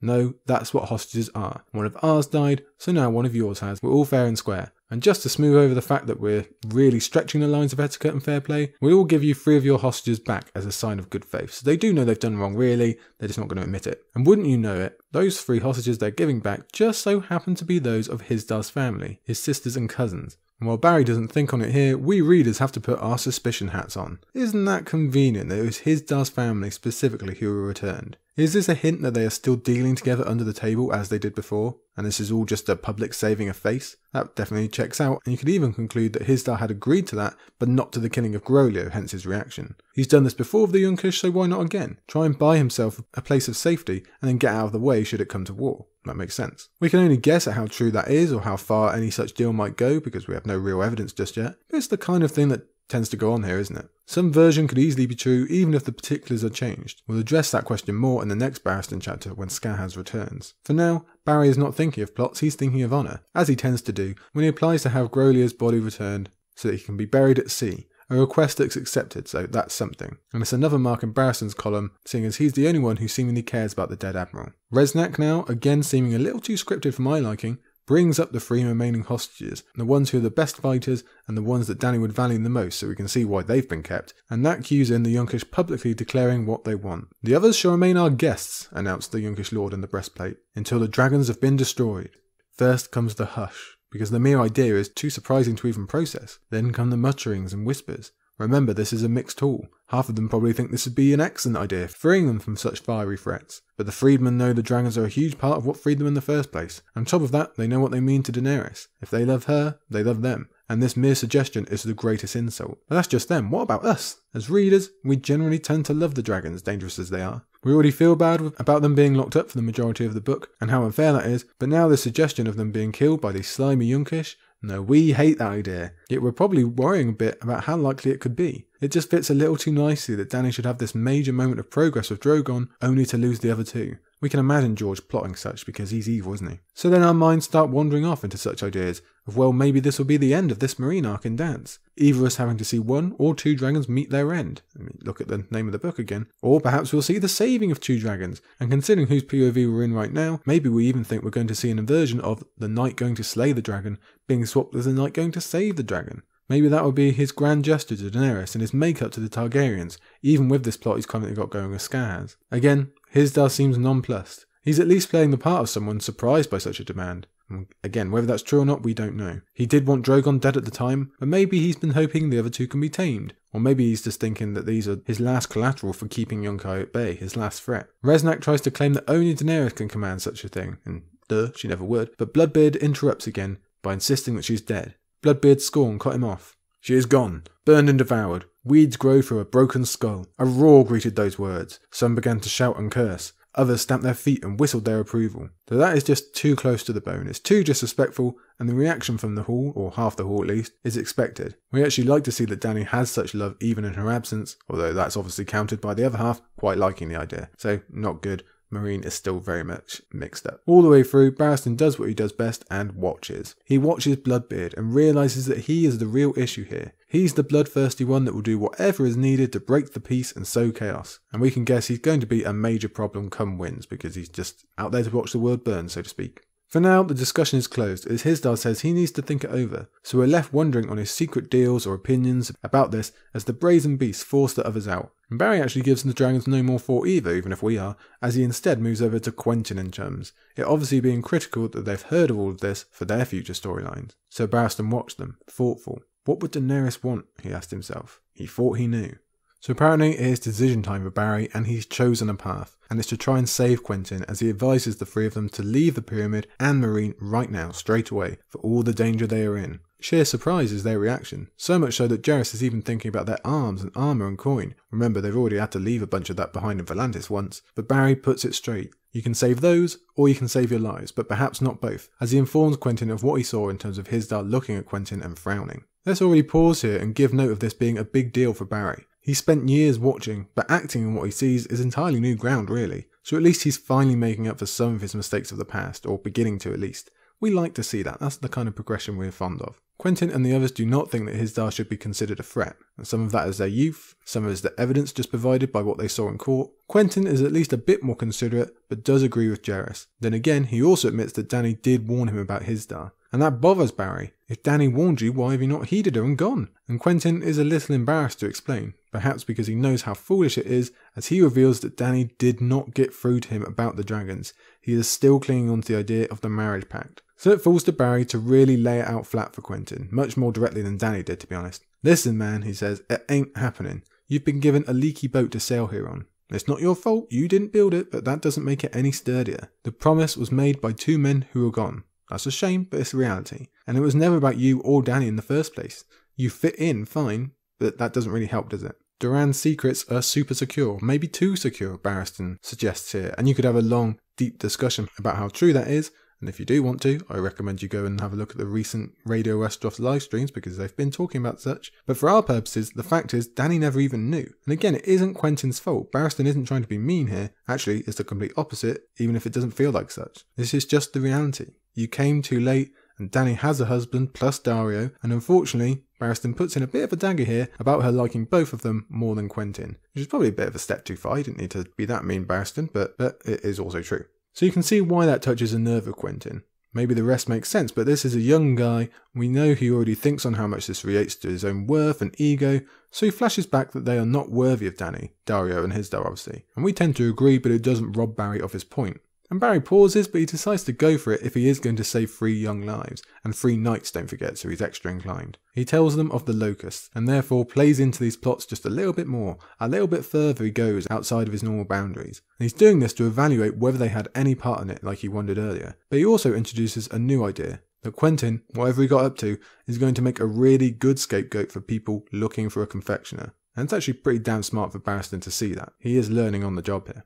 Quentyn's reaction is at least enough to convince Barry that he had no part in it, and probably us too, and we have no way of actually knowing that yet, but like we said earlier, we are all very, very doubtful that Quentyn would have anything to do with it. Still, Barristan expands on why that framing would fit, it would work with Quentyn, and we also get that little note about Prince Lewyn and his paramour, which I always find interesting. But the point is, Quentyn had both motivation and the background, his Dornish background, to paint him as using the weapon, using the locust. Gerris points out that Daario would want Hizdahr dead as well, but Barry uses his smarts again. He knows the men he watches, and he's kept an eye on Daario, you can be sure. He knows that is not his style. We've seen said style on full display. If he'd wanted to kill Hizdahr, he would have walked up to the guy and killed him. Besides, we aren't talking about who poisoned the locusts, we're talking about who can be framed for poisoning the locusts. Yes, Daario does fit, but there's more reason to not do that, just in case Hizdahr needs the Stormcrows or if Dany comes back and is pissed her consort is gone. The much safer choice for Hizdahr, the one that would still bring him a lot of benefits, is to paint Quentyn as the poisoner. Barry thinks this. He had said all that he could safely say. In a few more days, if the gods smiled on them, Hizdahr zo Loraq would no longer rule Meereen. Well, hello, that's come out of left field, that's very interesting. Really gets us wondering what's next and what's progressed in the plots between he and Skahaz between these two chapters. Unfortunately, we're not going to find out any more just yet, which is annoying. The final point is him trying to keep these three safe, which he tells them is what he's doing before he finally walks off. Just take my advice and leave, he says. But Quentyn, frustrated and hurt, finds confidence from somewhere as he calls out Barristan by his old nickname, Barristan the Bold. And as you'd expect, that takes Barry all the way back into the past, to his days of glory that seem so long ago, to when he first got that name. It's to further his history we've delved, as we're reminded that Barristan has basically had this name his entire life, right from the age of 10. It's who he is, which is a question he's posed to himself over and over in his last two chapters. He takes us back to a whole different era of the Stormlands with this memory, with a different Lord Dondarrion back at Blackhaven. And for many who read this when it first came out, or after to be fair, they wouldn't have covered the recent ages of Westeros via Dunk and Egg or the World Book. So the idea of the family of Beric Dondarrion and many others as well, past generations, and that just all being there in the histories, is a new, refreshing idea that you wouldn't have thought of necessarily. And bold certainly is the word, as Barry recounts his story, his borrowing of horse and plate, and how he made himself a hero of the stories by entering as a mystery knight. How the Prince of Dragonflies then took pity on him and helped cement a legend. And why focus on such a thing right now? Because it is stories like these, spread around similar young boys all over Westeros, that settle in the mind of Quentyn Martell. He thinks he's the hero still. He knows the bold ones get remembered, the other ones get mocked. That's why George is bringing this up. That's why we're having Barristan now and then Quentyn after. And it's why he says this. Quentyn says this. What name do you think they will give me? Should I return to Dorne without Daenerys? Prince Quentyn asked. Quentyn the Cautious? Quentyn the Craven? Quentyn the Quail? I actually think Quentyn the Quail is a cool nickname, but I get his point. So, just from that, we see no, Dany's warnings definitely did not take root. He did not get her advice. Or, neither did Barry's either. Quentyn is still obsessed with not giving up, with what that would mean for him as a man, or a prince, or a son. He simply cannot compute the idea of failing, not after all that has been sacrificed. Pride plays a role too, and ego, and all those foolish things we can expect to be present in a young man, but we also know that that is complete foolishness. We want Daenerys back as much as anyone, but she's not here. And even when she was, he wasn't wanted. So he can either stay here and risk his and his friends' lives, or go back and try to make them worth something. But for greater arguments, including some great ones put forward by Gerris on philosophy, which will probably wait until the next chapter, we end with Barry's reply. Quentyn the Wise, he suggested, and hopes that it was true. It's good, strong advice, and Barristan is a good man for suggesting it. Unfortunately, rereaders know that it doesn't work, and first timers only have to wait to turn the page. And that's pretty much it for Barristan 2, to be honest. I don't think there's an overly amount we need to go over there. The point of the plot is pretty specific and straightforward. As we see Yunkai clash with Meereen again, we're moving further and further along to war. There's a whole mess of possibilities and plots and underthreads that could be there, they might not be there, we don't know. We're still wondering about what Skahaz and Barristan are up to, so we're waiting for the next chapter for that. And really, it's just a reaffirmation of what we saw in his first chapter about the O's being restricting, about Barry having to make a choice, but having to get used to this underhanded method, and actually, to be fair, going for it, he does decide to take action with Quentyn, so that is a big step for him. We've also covered some of the lesser qualities of Barristan, where he is out of touch, where he does think the wrong thing, and there's more of those to come as well. But in general, it's a right step forward, it's a build up for Meereen, it's a build up for Barry, and I like it. That's a good chapter. I think it's a great building of tension. There's that word again. And I, for one, am fully invested in this Barristan arc, this quick, frequent, intense Barristan arc. So I'm really, really liking George's decision to include Barry here. I really like how this arc is turning, and I really do find Meereen just more interesting. I'm really built into this, so hopefully you are as well. Either way, we're actually going to get a pretty much straight follow on just to add more confusion, more tendrils into the Meereen arc, because yes, we did get it mentioned in that chapter. There is danger for the dragons. We're definitely worried about that, even if Barristan isn't really as much as he should be. And we're going to build towards that now as we move on, but we don't go anywhere. We stay in Meereen, and we move finally to Quentyn Free, the spurned suitor. So here we are, we're back with Quentyn after our super, super long wait for what is actually the shortest chapter in the entire book, which is probably another thing you don't really expect to find at such a late stage, but here we are. Yeah, we've waited all this time and then George writes us the short one. Now let's talk about this big gap, because it, it really is a long one. We've seen Quentyn pop up lately, to be fair. He's been riding the coattails of first Daenerys and now Barristan as we've just seen. But this is his first actual Quentyn POV we've had since chapter 25 of Dance, way back in The Windblown. And for reference, just so you remember where that was, that was next to when Tyrion first got taken by Jorah, when Jon Connington first turned up, so it is quite a while ago in terms of the narrative. And if we want to be specific, that's a 35 chapter gap between his POVs. As we discussed at the time, only Jon Connington can top that, I think. So sure, it's weird to be back in his POV, but he's also doing something very, very rarely done in Dance, an immediate follow-up. They've always been fairly rare due to the nature of the POVs, but we have seen it at before, right at the back at the beginning, and at King's Landing, kind of in the middle of the series. Not so much lately in Feast and Dance because everyone's so spread out. In fact, this is the only time it happens in the entire book so far that we get a POV following on from a POV in the same place, if you get me.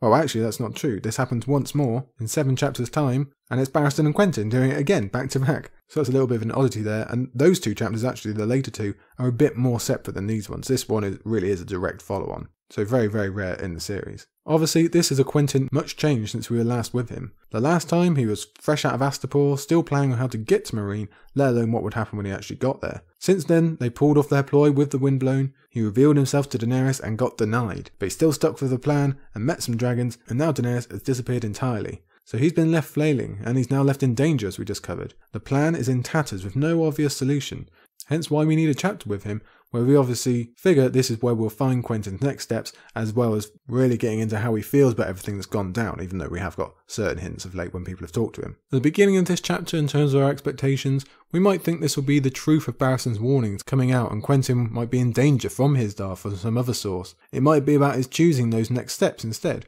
whether they be back towards Dorne or sticking in the mud here. And if it is the latter, then how he's going to rationalise that. We're sure it'll mix in with Quentyn stewing on his perceived failure, like I said, or how he can possibly make this trip worth it given all that he's lost. And rereaders confirm that we'll get plenty of arguments on that specific theme that was so strong back in his first two chapters.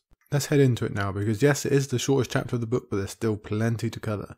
And we begin in the Hour of the Ghosts, which seems fitting given what Quentyn is soon going to become in his next chapter. We also begin with the hint of a new plan, even if we don't know what it is yet. Gerris has returned from making contact with some members of the Windblown, if your memory can run that far back, because they give the names here, they actually say it's the Windblown, but we do know it's them. Gerris was set out both because Quentyn is far too valuable to risk in their minds, and also Archibald isn't the best suited to the art of the deal, whereas Gerris is. And he was successful in finding them, even if it sours the stomach to find that slaves are being made to fight each other for entertainment. Obviously, this has been going on for centuries. It's just a part of this world, but we don't like to hear about it because it's awful. Maybe it was even still happening in the dark corners when Daenerys was still here, but now that she's gone, we know this kind of thing is just going to spread in her absence, so that's awful to think about. And again, we might have to cast our minds back to remember that Quentyn and crew not only tricked the Windblown, but kind of made fools of them, using them to get into the city and therefore to Daenerys, and they are still considered deserters, whether they truly believe themselves part of the company or not. Doesn't really matter what they think, matters what the windblown thinks. And that's going to be really important throughout the chapter because desertion, that's kind of a, a key sticking point with sellswords,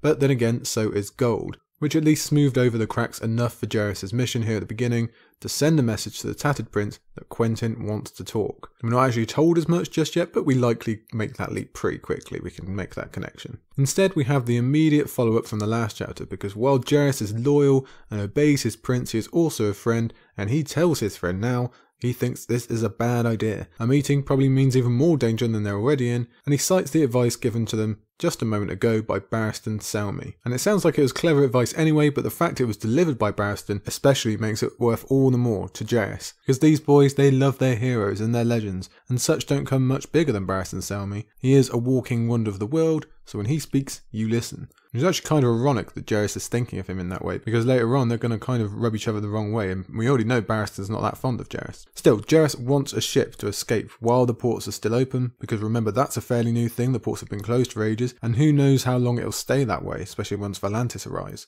Archibald, he doesn't want the ships because we know how they affect him, and Quentyn wants to not leave at all.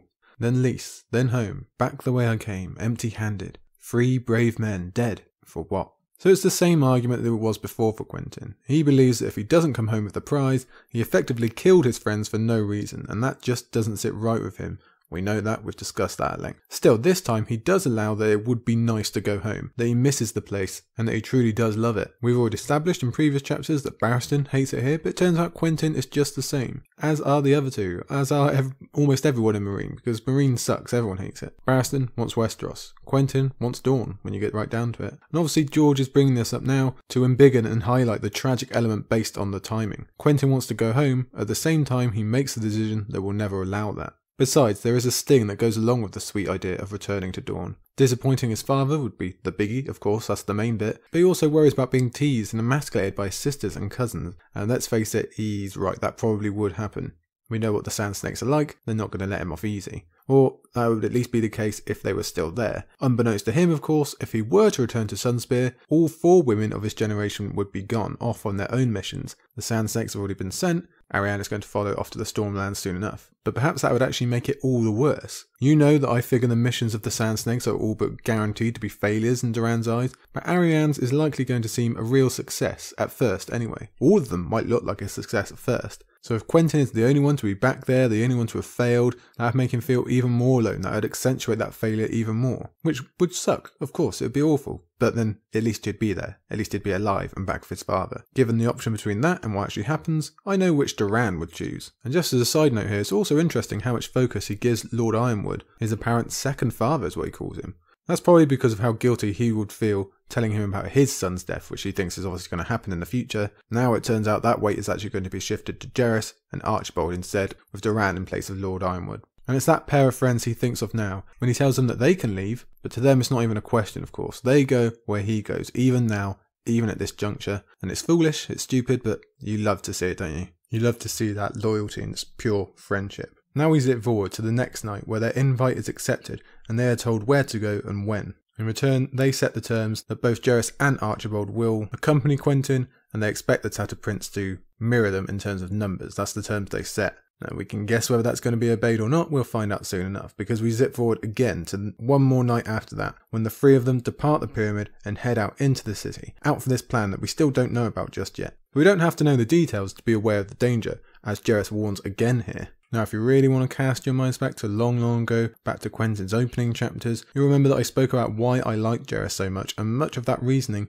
comes from this chapter, as I believe we visited at the time. I think we really skipped forward to these specific scenes to why Gerris is so cool, why the loyalty is so brilliant, and his specific advice, his philosophy that he argues about Quentyn with here. His original warning is just trying to get Quentyn to realise what they were actually walking into.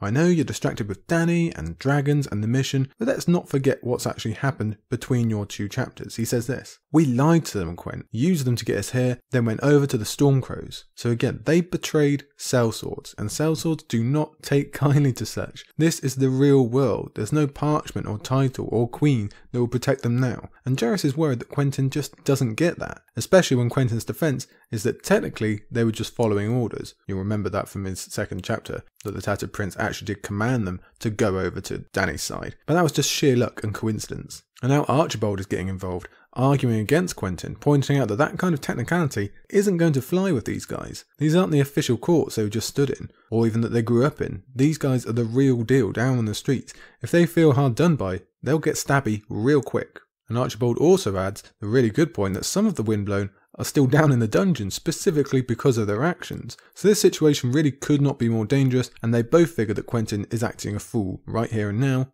which he is. Quentyn's next defense is that no matter the situation, a sellsword will follow gold. Now that's likely true, but they don't have much of that either. Besides, Gerris widens the danger to the city in general. Let's just forget about the sellswords for a minute. He recognises the way the wind is blowing. And even if you ignore that army outside as well, with another on its way, don't forget, the people within the city are about to turn on each other, with half being pro-dragon and the other being anti. As he explores here, by the three of them talking about the hero that dared to challenge Drogon.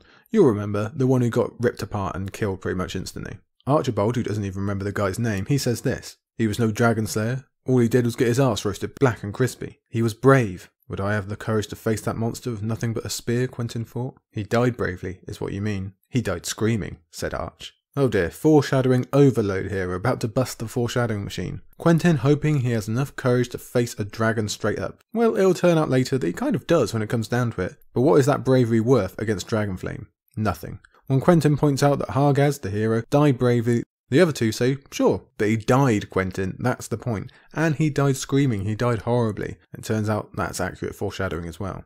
What the wiser pair are advising here really is don't toss your actual life away so eagerly, just in the hope of becoming a story, which is exactly the path that Quentyn is tumbling further and further down. Gerris tries another tactic to get through to Quentyn, pointing out that even should Dany return, which is not guaranteed at all, it doesn't improve their positions. She's still married, she still said no, and she would probably feel even more powerful if she really does have a dragon under her control and have even less need of Quentyn. There's no point in waiting just for him to still be the one not chosen. And here's where Quentyn believes himself the only wise one in the group, the only one with his head on straight and actually considering the mission, which is just hilarious really, because it's so clear to us that it's actually the opposite. He's the one who's lost touch with reality. But what he does do is finally let us in on his adjusted thinking since his talk with Dany. The road leads through her, not to her. Daenerys is the means to the prize, not the prize itself. Oh, okay, Quentyn, because that's a pretty big turnaround to what you were saying beforehand. On the way here, the entire focus was on Daenerys. She was the be all and end all. Now, perhaps in an effort to convince himself that he's not really failed and to avoid that pain, he's saying that what he really wanted all along was what Dany could provide, not her herself. And that's a disappointing way of thinking, to be honest. And it actually plays into the exact reasons she said no in the first place, even if we're still not quite sure what he actually means by it. And the other unfortunate part is that it's kind of right when you get right down to it. Maybe not on Quentyn's level, but definitely for Dorne, they did want the dragons.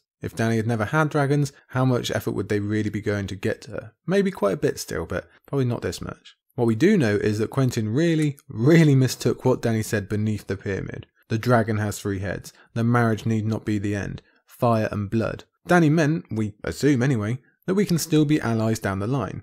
Look, let me show you what I have to offer and why I'm worth the wait. Go home and tell your countrymen so they are ready when I do come. What Quentyn appears to have heard from that is that because of his lineage, the one that he brought up in that conversation, not Daenerys, he might actually have access to one of the dragons. So here, with a handy push from Gerris, is where we actually start to click on what Quentyn Martell is planning. He wants to take a dragon, steal it, tame it, win it, we don't know.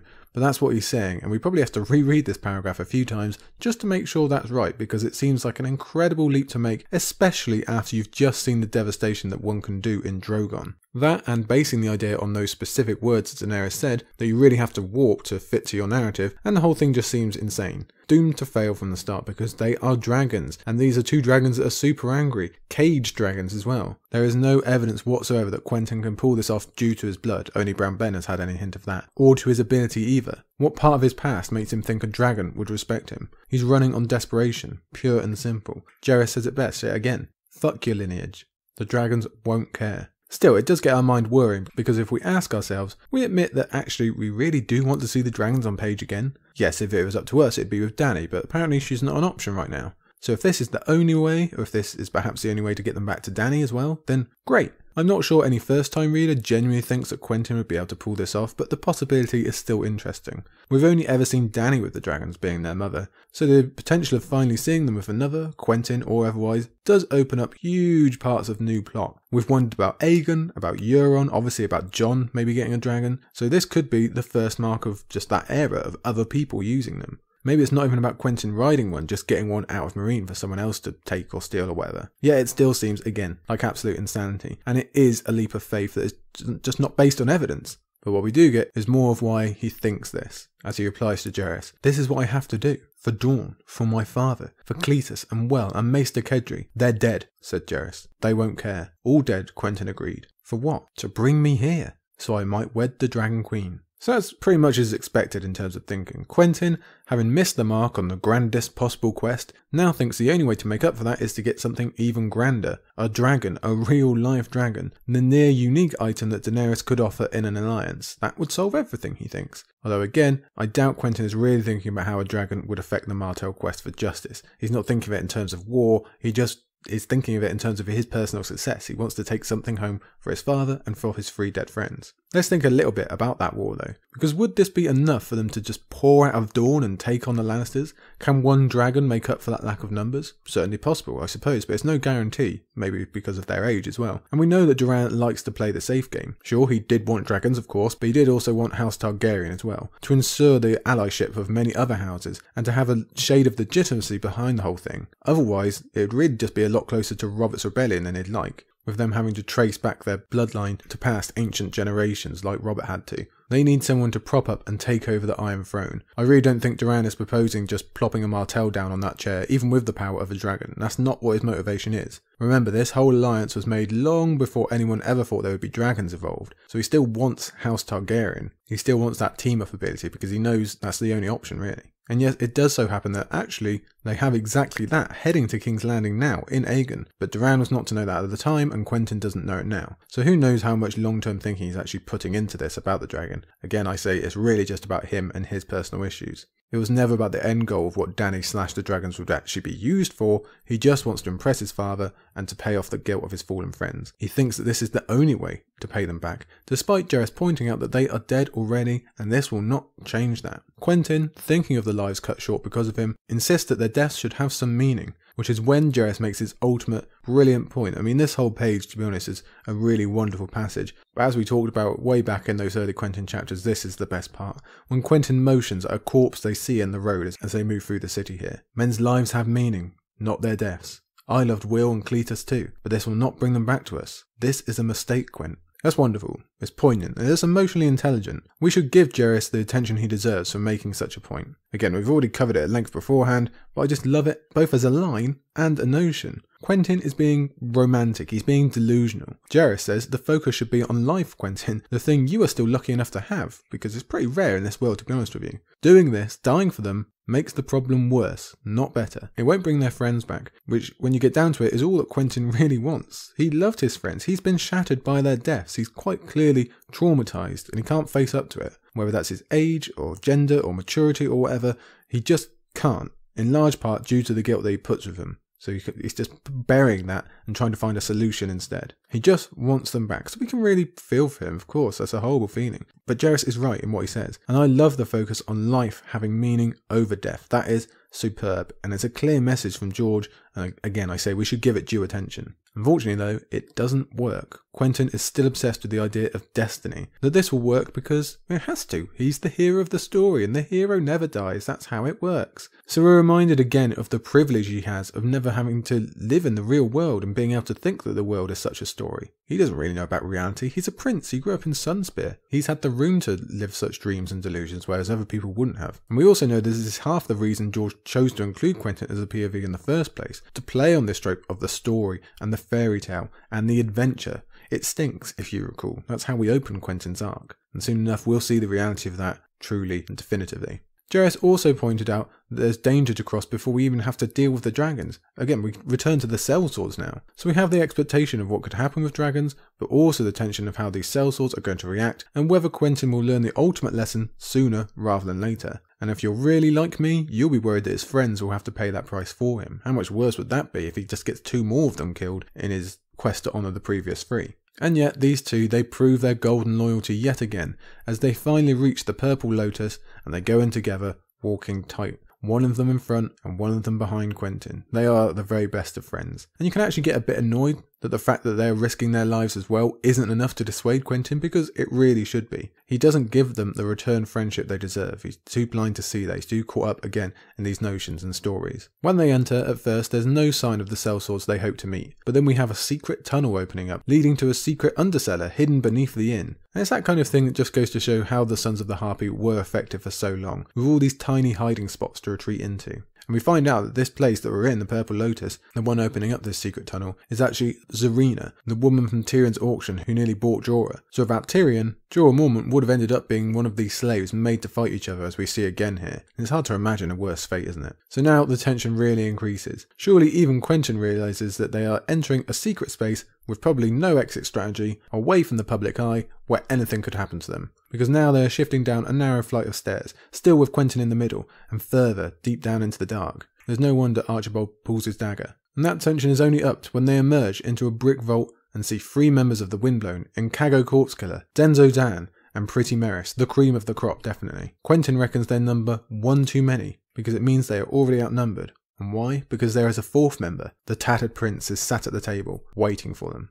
So yes, most definitely tension all round. The prince, though, is all politeness as the three join him, though Quentyn's at least smart enough to see that he's wearing chainmail, though he doesn't know what that indicates. He's more intrigued by the fact that the prince has come about his famous cloak, and that is cleverly explained by the prince as him making his cloak to be such a big deal out on the battlefield or amongst his men that for many it's all they see. And that works to his advantage because once he takes it off, no one bothers recognising him, which can be awful useful in situations like these. That's just a really cool detail and a sign of why this guy's lasted so long. Gerris, already not happy about the situation and convinced it's going to be their end, points out that the lines are already being blurred. They agreed on two men apiece, but he bought three. Obviously, the Dornish group asked for that so that if things did go wrong, it'd at least be a fair fight. Now they will be at disadvantage, as Quentyn mentioned, and against the company's best fighters as well. The prince's excuse is a bending of the rules, this twisting that it admits to because Meris is a woman, not a man. So, okay, technically, we didn't break any rules. And that's a quick sign of the prince being more cunning and definitely not being trustworthy, and also being more aware of the reality. Yeah, he's doing it because it's very hard for the Dornish to argue against, considering what they've already pulled against the Windblown. So it keeps the moral superiority on the prince's side of the table. They really can't complain, considering what they've done. I promise not to have you killed until I've heard you out. That is the least I can do for a fellow prince. So he's a smooth talker, but the danger beneath is well on display, especially when the prince names them as liars and deserters. That's enough for Quentyn to at least acknowledge the danger of the situation they are currently in, which he really hasn't done so far in this chapter. To be honest, we've had hardly any introspection or true thought from him this whole time. It's like he's kind of skating through his own POV and not really quite there, or like he's disconnected in a way. Perhaps because he still is. He's still mired in the disappointment or failure or the obsession of finding a new path lest he never do right by his father and his friends. Still, at least he is present for a moment when he admits that they are all stood on the knife's edge. If he says one word wrong, they'll be fighting for their lives. And Barristan Selmy didn't highlight the tattered prince as a source of danger, but that doesn't mean it's not true. Quentyn begins by trying to excuse their deception by being a last resort. It was the only way that they could get to Slaver's Bay. As expected, that doesn't exactly melt the prince's heart. He's heard a thousand times of how everyone's reason is the most important and most worthy of their desertion, however little they really wanted to do it. Although the examples he gives supply quite the impression of working with the Windblown. He makes it clear what normally happens to deserters, and Quentyn actually did much more damage than the regular Turncloak would. Yet again, Quentyn's defence is that this was a matter of honour and duty. He had to choose both to do whatever was necessary to kick off this secret wedding pact, as if such currency is what sellswords deal in. We can see his mistake from the beginning. He has no idea of what is actually valuable to sellswords, especially sellswords who are pissed at you. Besides, it's an even worse defense when your cause doesn't work, as the prince points out. Not only did Daenerys turn him down, she left. Plus, she is already married, despite Quentyn's unveiling. Worse than the facts themselves is the prince doing it in his most sarcastic voice. And then Pretty Meris really gets an extra kick in with this. What of your marriage pact? asked the prince. She laughed at him, said Pretty Meris. Daenerys never laughed, Quentyn thought. We know that to be a sore spot because we previously established that such a reaction was Quentyn's worst nightmare. But we also see that Quentyn is in semi-denial about the whole thing because the fact is, she did laugh. Not out of cruelty, and only once at a private joke about a frog, but it did happen, and it must have been an icicle through his heart. We weren't in Quentyn's POV for that singular, most important moment of his life, but we know how the whole world would have zeroed in on that one second, and how her laugh was everything he didn't want. He would have felt hot faced and stupid and tongue tied, and as if every face in Essos was just pointing towards him and laughing at the same time. Now, luckily, that was just a brief flash, and after that, Daenerys did speak to him fairly and gently, and then later they had their private conversation when he saw the dragons. So it's good to see that he doesn't harbour any resentment for that initial meeting, or he hasn't fixated on it, even if it doesn't change what everyone else saw, unfortunately. Gerris remembers the truth as well, and that's the version that may well get back to Dorne, which is unfair in a way given the quick mini friendship develop, developed between the two distant relatives in Dany and Quentyn. For now, Quentyn admits that they did come too late, and that must be very bitter for him to say that, because it was never any fault of his, he came as soon as he could, and everyone just keeps telling him that it was too late, you're too late. Again, not his fault. The prince continues humouring the Dornish Free, and they are truly lucky he has the semi-playful personality that he does, because if it was any other sellsword, they would likely already be dead. And it's probably Quentyn's surname saving him again. It's worth hearing him out just in case there does turn out to be some worth, because he's probably got some gold somewhere, we might as well meet him. After the prince playfully asks whether the three of them will be returning to honour their contracts, Quentyn turns the question of contracts back around on him, first by establishing what the Junkers are getting up to in terms of their supreme commander. We re-establish that Yurkhaz has died, and are now officially told for the first time that the role of Supreme Commander is going to rotate day by day. Today, the Drunken Conqueror. Tomorrow, the Rabbit. And on and on it goes. So here's where we can really fall off of our chairs laughing because it's hilarity, nothing short of it. Right from the off as well, George shows how stupid it is because the prince is already forgetting who he is supposed to owe his allegiance to on what day. They've even been provided with a copy of the Rota. You, you just can't make it up, it's amazing. And Quentyn now makes his move of why he bothered to bring up Yurkhaz. He was the one who signed up the Windblown, and he's dead. There is going to be officially a peace now, supposedly. So what are the Windblown hanging around for? Add that to the pointed question of how long Yunkai will pay for four sellsword companies that they apparently no longer need, and you can see that he's much closer to hitting the mark now. Not that the prince is all that bothered, unfortunately. That's just how it works. The main problem of being a sellsword is you are paid to fight. If you fight, you win or you lose and either one is eventually going to stop the payments. So off you go to find another fight. They're used to it. And besides, it's not like it's all rainbows around here, it's not completely settled, is it? The prince ticks off all the many moving parts of Meereen, and how likely it is that they will be needed at some point. War will break up, and they'll get hired again. So now Quentyn swings the bat. Why not get hired now? Why not get hired by Dorne? And as the tattered prince notes, You've got to give it to him in terms of bravery. For now, our minds are wondering exactly how Quentyn intends to use them for his mission, and are likely concerned about the danger of hiring people that you've already betrayed once. Somewhere in the background, we might have thoughts about how this upsets the larger balance of what's happening in Meereen as well. Yunkai will move from four sellsword companies to three. A pro-Targaryen side will gain one to what they've already got. So if Dany were to come back anytime soon, what could that mean? And don't forget, we're also thinking about what Tyrion's up to for the Second Sons. But the overall problem hasn't gone anywhere. How do you persuade someone you betrayed to trust you? Even when the offered rewards are so outstanding, it's still a gigantic undertaking and a risk, as we discussed in Tyrion's last chapter with Brown Ben Plum. Dorne and the money are a long, long way away. There is a lot to consider. Quentyn begins offering twice their current payment, which is probably quite a lot, which sounds lovely, but it's just a promise, and only that. They cannot actually pay them right now. Only some in Volantis where they left half their coin, and then some again in Sunspear, citing Doran's honour and resources. So the leap of faith stretches even wider. The prince would have to put everything on his side of the bargain up now, and then wait perhaps months, maybe even years to see any possible payment, which he'd also have to complete a really dangerous, long journey for. It's a hard sell. Yet the tattered prince doesn't turn him down. Instead, he turns to what Quentyn actually wants them for.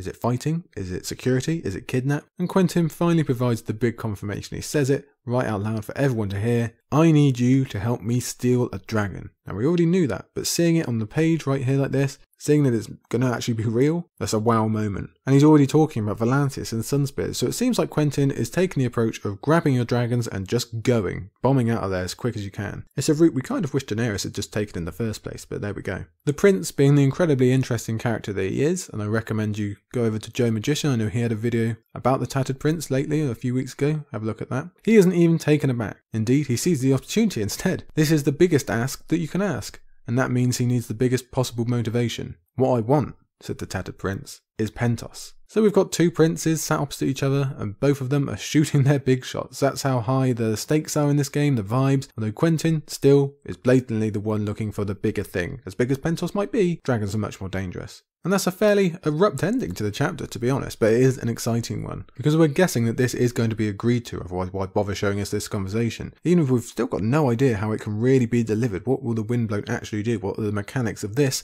yet another heist, the most important one ever? How can that actually be achieved of getting a real life dragon when they, they don't have an army, do they? They've just got a few people, but all things are possible. And then we can easily enter into already wondering if this is a double cross and the prince intends to take a dragon or two for himself and we'll just use Inside knowledge to get them, or are they just going to turn on Quentyn before they even get near a dragon? We don't know, but there are lots of very, very exciting possibilities because we love the dragons, like I say, we love to see them free. The potential of getting them out of there, seeing them move and spread their wings, whether here or throughout the world, is exciting, even if it hurts to think of Daenerys not being involved. We don't know what's going on with her. Maybe she will be involved with them again. And then we have the knock ons of the effects to the peace talks, maybe what Dorne will get up to, and therefore maybe what Aegon will get up to with his invasion that we're going to cover in a second. This kind of thing can tilt the whole world, if it works, of course. That's skipping ahead, obviously. We've still got to get the things first. That comes with its own inherent danger, and a lot of us are guessing exactly how it winds up. Not well, with people burning. Daenerys tried to get across. Quentyn should have seen back at the pit what dragons are really like. Unfortunately, despite the best efforts of Gerris and Archibald, he's determined to go down this delusional path with the best of intentions. It's not like he wants a dragon for glory, he's not going to sell him or kill him or anything like that. He just wants to honour his dead friends and impress his father, but that doesn't make it any less foolish. So we have just one Quentyn chapter left, and it's really set up to be a doozy, isn't it? Of course, that is going to be full of thrills and suspense and dragons, which we love. We just like having them back involved. For now, we're going to leave this chapter here, but I do again just want to give a nod to Gerris, to what he said about life having more meaning over death, and that, that whole passage is just brilliant, I think. Again, I know we covered it way back when, but I really do think you should pay attention to it. It's a wonderful message, it's put forward really well, it really just, just put me in love with the character of Gerris Drinkwater, and Archibald as well, of course, he made the same points. We'll talk about those two, of course, after the events of the next Quentyn chapter and where they're going from here and everything like that. We've discussed that before as well. But that's just such a clear, smart, emotional message in the middle of this chapter that is full of delusion, full of the hero stories, full of mistakes, if we're honest about it. And that's again just what we know about what happens to Quentyn. We've still got loads of questions about the Tattered Prince and Pentos and everything like that, but let's deal with that later. Instead, we will get to our last chapter of the day, it's one of my personal favourites. We're heading back to Westeros, to a place we actually haven't been for an age, as we go to Jon Connington 2, The Griffin Reborn. So, we are back after, well, a very, very long time. We thought it was a long time for Quentyn. We'll increase that. Like I said before, that we mentioned the first time round, a 37 chapter gap between his first and second chapters for Jon Connington. It's been a long time, and we've been pretty much left in the dark. True, we've had a little rumour here, a little trickle there, but in general, we don't know what's happened. We've got no idea what's happened to Jon Connington, to Aegon, to the Golden Company, and this grand, grand adventure they're about to go on, or invasion, whatever you want to call it. It's only very recently in Cersei's chapter that we've actually had it confirmed that they made it at all. They easily could have been stopped halfway, they could have fought with someone, they could have been downed by storms, we did not know. We've just been left for a really big chunk of this book to wonder I think many of us probably thought by the time we were getting to this part of the book that we just wouldn't see that, that that would also be pushed back to Winds, but no, we're gifted with them here for this great chapter that I really, really like. Like I said right at the beginning, I'm really looking forward to discussing it with you. Not just because it's Jon Connington, I find that character really interesting. If you can cast your mind back to The Lost Lord, it seems a long time ago, I know, that's because it was. Not just because of the plot of the Targaryen invasion, but firstly, we're getting to see a castle attack that's always cool. We'll talk about that in a moment. But maybe even more, we're back in the Stormlands for the first time since, and I think I'm right in saying this, Davos 2 of A Clash of Kings. That's the Melisandre chapter where the Shadow Baby's born. That's how long it's been since we've been not just outside Storm's End, but the Stormlands in general. I'm pretty sure I'm right in saying that. So that's just amazing to me. And I go on about this a lot in the Castles book, so I won't try to bend your ear too much about how Storm's End and the Stormlands are really critical, especially in the first three books. They really are centered around for the Baratheons, obviously, but also physically as a castle for Storm's End and as a region. And yet we're like never there at all, really. We never really step foot in Storm's End and we never really get to explore the Stormlands much. So here we are finally back there, getting our best ever look at the place, which is really a key part of Westeros. So I really like that. I really like that we're back there, that it is going to become important. Don't forget, this is technically still the royal kingdom. It's like home turf. Tommen is a Baratheon. in the eyes of the public. So this is supposed to be a really important place that's just been ignored by the narrative for the longest time. So that's really, really cool. So we've got that. We've got an attack on a castle, which we always like. That's cool, seeing the tactics and whatever else. We're going to see the strength of the Golden Company. George is really going to try and press us with that and get across how effective they're going to be in this invasion. That plays off with what we've heard from Cersei's chapter, where Kevan's just kind of like not taking it seriously. So we always like knowing that little extra bit of information, how this is going to be reacted to. That makes them seem even more impressive. We've got the themes of return, long awaited return for our POV, but also everyone around him in the Golden Company. So we're going to have a lot to talk about that thematically, emotionally.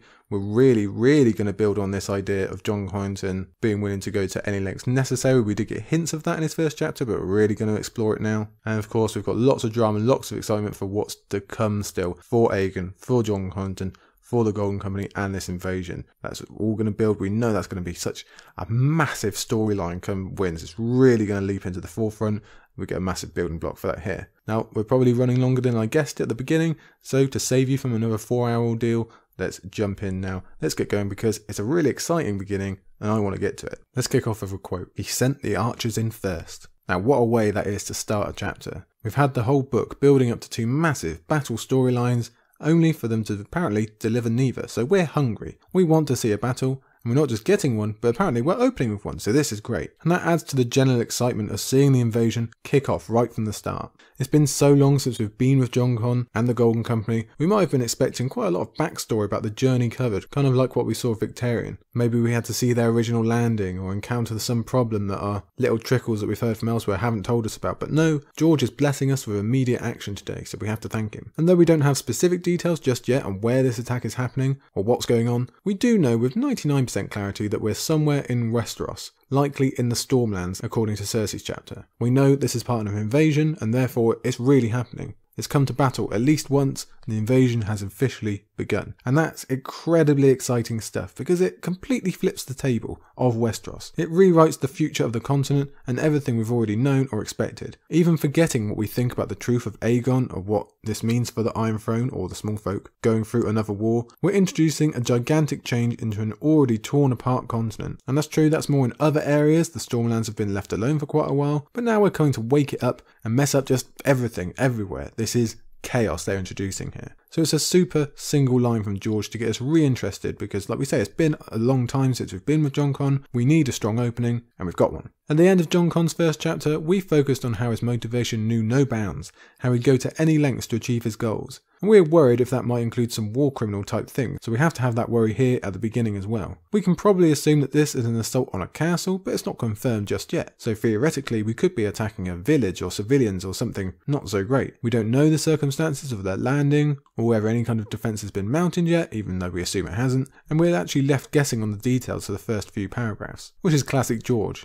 He gets us with the hook and then makes us wait for the substance. But then our excitement is probably enough to carry us through and keep us patient. This is too interesting overall, and combined with the chapter title, we get that sense of grandeur and success already, so we'll wait for now. What we do get is some of Jon Con the commander, the general, as we have the details on Black Balaq, which is difficult to say, although he does seem pretty awesome so I forgive him, and his thousand bows. Had Jon Con as wise to their use as he's aged, in terms of archers I mean, and was smart enough to split them between ships to ensure he'd at least get some of them landing and with his force. Because it turns out the Golden Company were not exempt from the storms afflicting every other fleet in the story, even if they appear to have come out of it much better than most. In this case, 600 archers have still arrived on six ships, so they aren't exactly lacking, are they? It's really a great reminder of the scale of army we're dealing with here. This is a major force. It's not just some ragtag bunch of bandits or anything like that. This is a real army. This is really going to mess things up. And Jon Con doing that splitting up, that clever logistical tactic, reminds us we've actually got someone competent manning the helm of such an army, which, let's face it, is a sight unseen for ages in central Westeros. That hasn't happened a whole bunch. We also learn here that they landed on Cape Wrath. So we know it was the Stormlands, but now we've zeroed in on a specific area. We know we aren't attacking Storm's End or getting our first glimpse of Tarth or anything like that, although perhaps you are like me and worrying that Davos's wife Marya might be in trouble because she comes from Cape Wrath.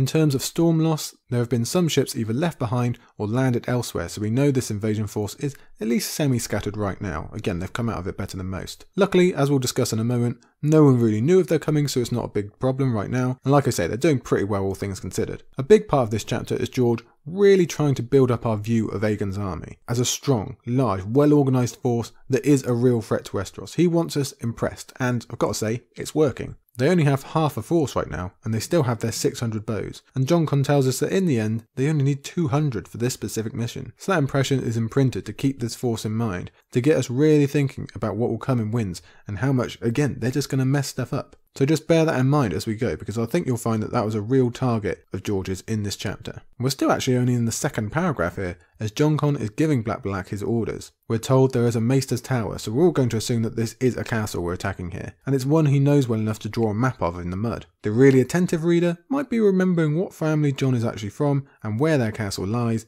and is now putting two and two together. But then again, it's still not confirmed. He was an important lord of the land back in the day, so he might have decent knowledge of any castle in the area. We'll have to wait and see. For now, the point is that every bird is going to be brought down, and that's an important point as we'll see again later. We get the impression this is going to be a fast, surprise strike, and we're really getting built up to see it. Yes, please, come on, George, give us the battle now.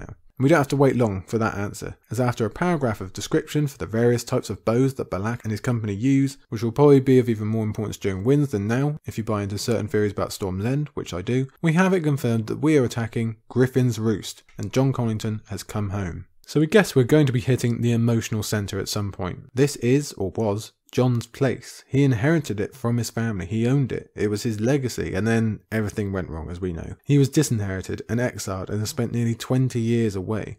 So this is obviously a big deal, a really big deal that is going to mean a whole bunch for him. He's probably been thinking and dreaming of this moment almost every day for all that time. Now he comes back with a bigger mission in mind and is obviously keeping his eye on that overall goal, but we know, again, this is going to have to hit him at some point, even if he's going to save it for after business is concluded. He's not going to risk his ultimate mission for the distraction of emotion, because we know what he thinks already on that subject. Besides, it's great for us because we get to visit a brand new location and a brand new castle, so you know I like it, especially when it's going to be described in such a way by the man who knows it best, and in the viewpoint of a military attack, so we really get to explore its defences and its relationship with the geography, and all those kind of things that I love and that we saw in the Castles book, so again, you know I'm really into this part. And in the case of geography, or defence as well, we find that Griffin's Roost isn't too different from Storm's End, in it being built into the shoreline so that the ocean is protecting it on three sides. It's very similar to Sunspear's structure as well. It only has the one approach up to the castle, which is apparently ideal for defence. There's a gatehouse that opens out onto a long ridge called the Griffin's Throat, which is a cool name, I think. We know how these things work, don't we? A long, exposed stretch where attackers are at the mercy of spears and arrows and other projectiles thrown from the towers, and note that they are rounded,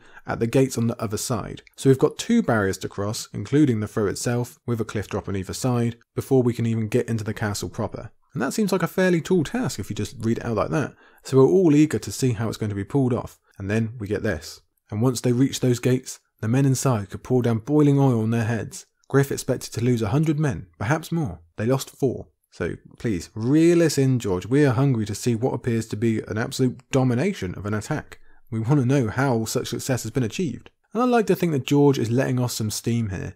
He's been building to battles all through this book, but has actually got to describe very few. It's been ages since Deepwood Motte, which actually has some similarities to this one at the beginning of that chapter anyway. But then he wrote that from the view of the hapless defender, one that was forced to run before battle could be joined. So he's still got all this build up and no way to release it. He originally thought he'd be ending this book with great big descriptions of the Battle of Ice and the Battle of Fire, and he'd get to do all his typical tactics and logistics talks that we know he loves and we love in turn. That didn't happen though, so if he can include this one, he's going to enjoy himself, as well he should. In this case, it's the age old problem of people becoming lackadaisical. Jaime has talked about it recently, and we pick it up here, there, and everywhere to be honest. Some of it is human nature, some of it is poor leadership, and Jon Connington is here to exploit both. Griffin's Roost has generally been one of the safer places all through the series. The Stormlands as a whole have been in general, even stretching back to Robert's Rebellion. As far as we know, Griffin's Roost wasn't troubled. And we can say the same thing for the War of the Five Kings, where the Stormlords all armed up and it looked like it might come to battle on their land, but then Melisandre got involved with their shadows,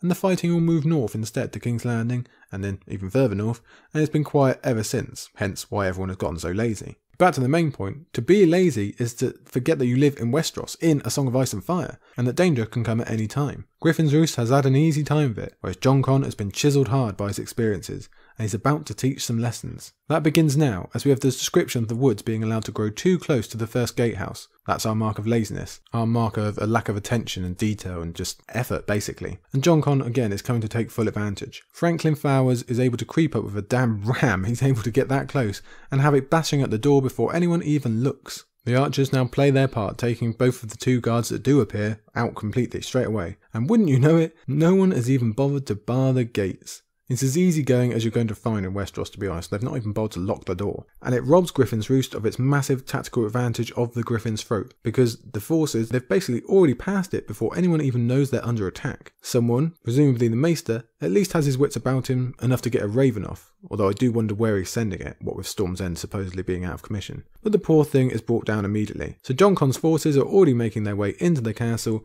and you kind of almost have to feel bad for the garrison of Griffin's Roost at this point when George mentions some brave defender throwing cold oil over them as they reach the second gatehouse because of how unprepared they are. Hey, and who knows, maybe someone slips over and gets a bruise or something, but that's about it. And to be honest with you, that's the battle. As much as George might have liked to extend his writing of it, the Golden Company are in the walls, and they're probably having a great time because this is a momentous, emotional time for many of them as well, because they are back in their homeland as well, once more. But even past that, it must just be pretty cool to attack a castle for once. It's not like they get a lot of that over in Essos. Seems like most of that is just straight up field battle. So they are swarming through now, catching the waking defenders, shouting out the battle cry of House Connington just to really make the defenders second guess what they're actually doing. And so falls Griffin's Roost, and the first victory of the invasion of Aegon Targaryen is in the books. That was the end of all resistance. What guards remained had thrown down their weapons, and quick as that, Griffin's Roost was his again, and Jon Connington was once more a lord. He gets a grand return as he rides his warhorse down the throat, and we see the maester get thrown from the tower, unfortunately. It was probably a better idea to have him kept alive just for getting some recon and information, but still,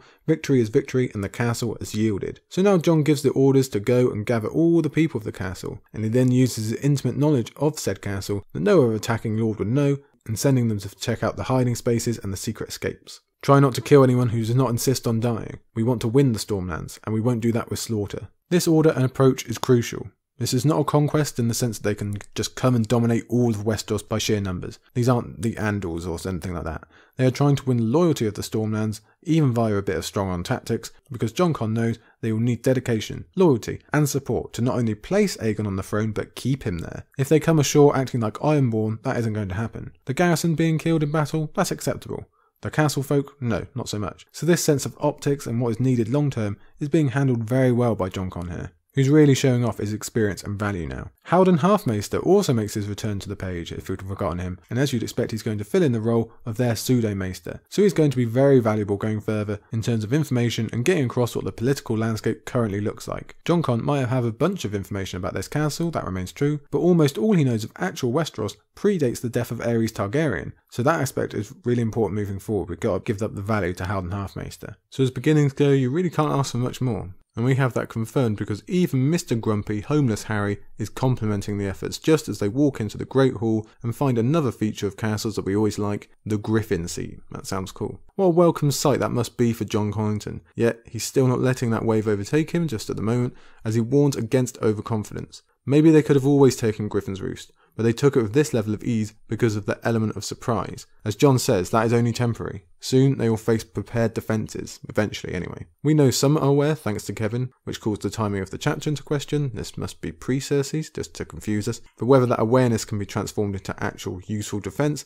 is a valid question, but at the very least, this is the easiest they'll ever have it, so don't get cocky here, kid. Strickland, as ever, is both useless and clueless as he talks about digging in here and defending this castle against all comers, especially with its extra sea passage defence. Jon Con doesn't bother correcting Harry Strickland, possibly because he's not planning for the airhead to be part of the long term plans anyway, so why not just keep him happy for now? Instead, he really, really gets our attention with thoughts on the plans for the future. Thinks this. Griffin's Roost was strong but small, and so long as they sat here, they would seem small as well. But there was another castle nearby, vastly larger and impregnable. Take that, and the realm will shake. Wow, okay, now this is the big time. There's no messing around right now because we all instantly know exactly what he's talking about. And again, it looks like this is something else that's going to be pushed back to Winds, unfortunately, but they're still damn exciting. This is no small evasion, of course. They're shooting their shot just like Quentyn was a moment ago, and Jon Connington is definitely correct about this making people take note and giving legitimacy to Aegon's campaign. He's very aware of the optics of how this continent works and how people will react to things. That's why he's so important to Aegon. That's one of the reasons, anyway. And this is definitely no exception. Now, again, like I mentioned in the intro, we've spoken about a whole bunch of times how Storm's End is one of the big staples of the world. It was a big enough deal when it was submitted to Stannis. That had already never happened, but now, potentially through battle, being taken down, through battle being actually taken, no, no, no the world will watch and really pay attention, even in this primetime lineup of constant huge events, and both lords and small folk will think, hey, if this guy is strong enough to take down Storm's End, something, again, no one else has ever done, he will either be a good guy to keep on the right side of, or he's someone worthy of investment and belief. On top of that, it forces reaction for the Iron Throne. You can't let Storm's End be taken and just watch from the Red Keep, which is likely what Jon Con wants because he knows or suspects of poor leadership, one that might rush into a bad decision. And rereaders know the eventual answer is supposed to be Mace Tyrell and a large part of the Tyrell army, yet again coming to take on Storm's End. And our theories generally point to the idea that that effort will fail, the Tyrell strength will be devastated, and the path to the Red Keep will be even clearer. We might get time to talk about that a bit later. Jon Con fobs off Harry with talk of going to see his father's tomb, which, sure, is expected, that's fair enough, but he doesn't go there. He heads to the top of the East Tower, the tallest point of the castle, so he can finally let some emotion penetrate his skin. At this point is something we've best seen in this book with Theon, the revisiting of a physical place and that incursion of memories that it brings. At the beginning, as he climbs these steps, that is memories of his father, the previous Lord Connington, He's obviously an important figure in Jon's life, especially in terms of coming back where you were supposed to be and the guilt that came with losing his legacy, etc., etc., and all that his father was supposed to pass on to him. But to be honest, that is shoved aside pretty quickly for thoughts of Jon Con's single, lone walk up these stairs with one Rhaegar Targaryen. So now we all rub our hands together and we listen intently because we always have to when Rhaegar comes up. And we very rarely get to know any further parts of his actual life or history. We know astoundingly little of the man considering how big a role he has in the overall series. We've talked about that before. And unfortunately, to be fair, we don't really learn anything of interest here, other than it just bolstering this idea of Jon Connington being in love with him just by the way of his speaking. The fact that Rhaegar played his harp and the phrase, a song of love and doom, might stick out to us, but really it's just another part of the emotional journey. Jon is back for the first time in the land that Rhaegar knew. He is walking on steps that Rhaegar once walked. This is the closest he has felt to his friend in 20 years. So that emotional importance of both the day and the overall mission is embiggened even further. The crag with its wind carved rocks and jagged spires, the sea below growling and whirring at the foot of the castle like some restless beast, endless leagues of sky and cloud, the wood with its autumnal colours. Your father's lands are beautiful, Prince Rhaegar said. So as well as just being a wonderful description, that's his memory, that's what he's focusing on. As he remembers all the way back into the past when he was worried about what would impress Rhaegar and how could he get on Rhaegar's good side. And actually probably Rhaegar's probably just being genuine with his compliment about these lands because they do sound rather wonderful, don't they? When Jon Con finally gets to the part of the castle that apparently has gone unappreciated since the days of he and his father, we're treated to a wonderful visual description of the surrounding lands to go with what we've just heard, tying in beautifully with Jon Con's appreciation of being home in Westeros finally, and of being here, specifically in the world, the place that he gained and lost. He says this I rose too high, loved too hard, dared too much. I tried to grasp a star, overreached, and fell. That's a famous quote among the fandom, it really is. And it hits on what we were told in Jon Con's first chapter about the guilt, the frustration he still carries over those events all this time later. Don't forget those bells. It all realigned his priorities, that chapter.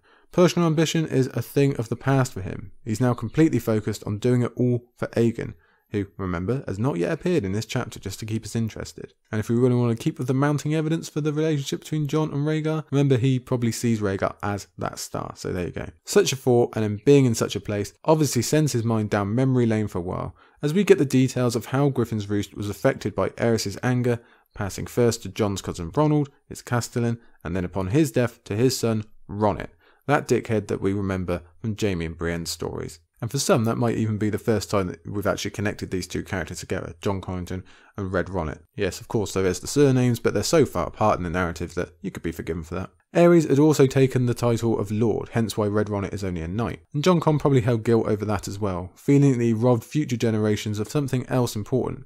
But today it's quite handy, because it means Ronnet is off in the war, over in the Riverlands, and therefore isn't here to defend the castle. Jon Con wouldn't have wanted to begin the invasion by killing one of his kin.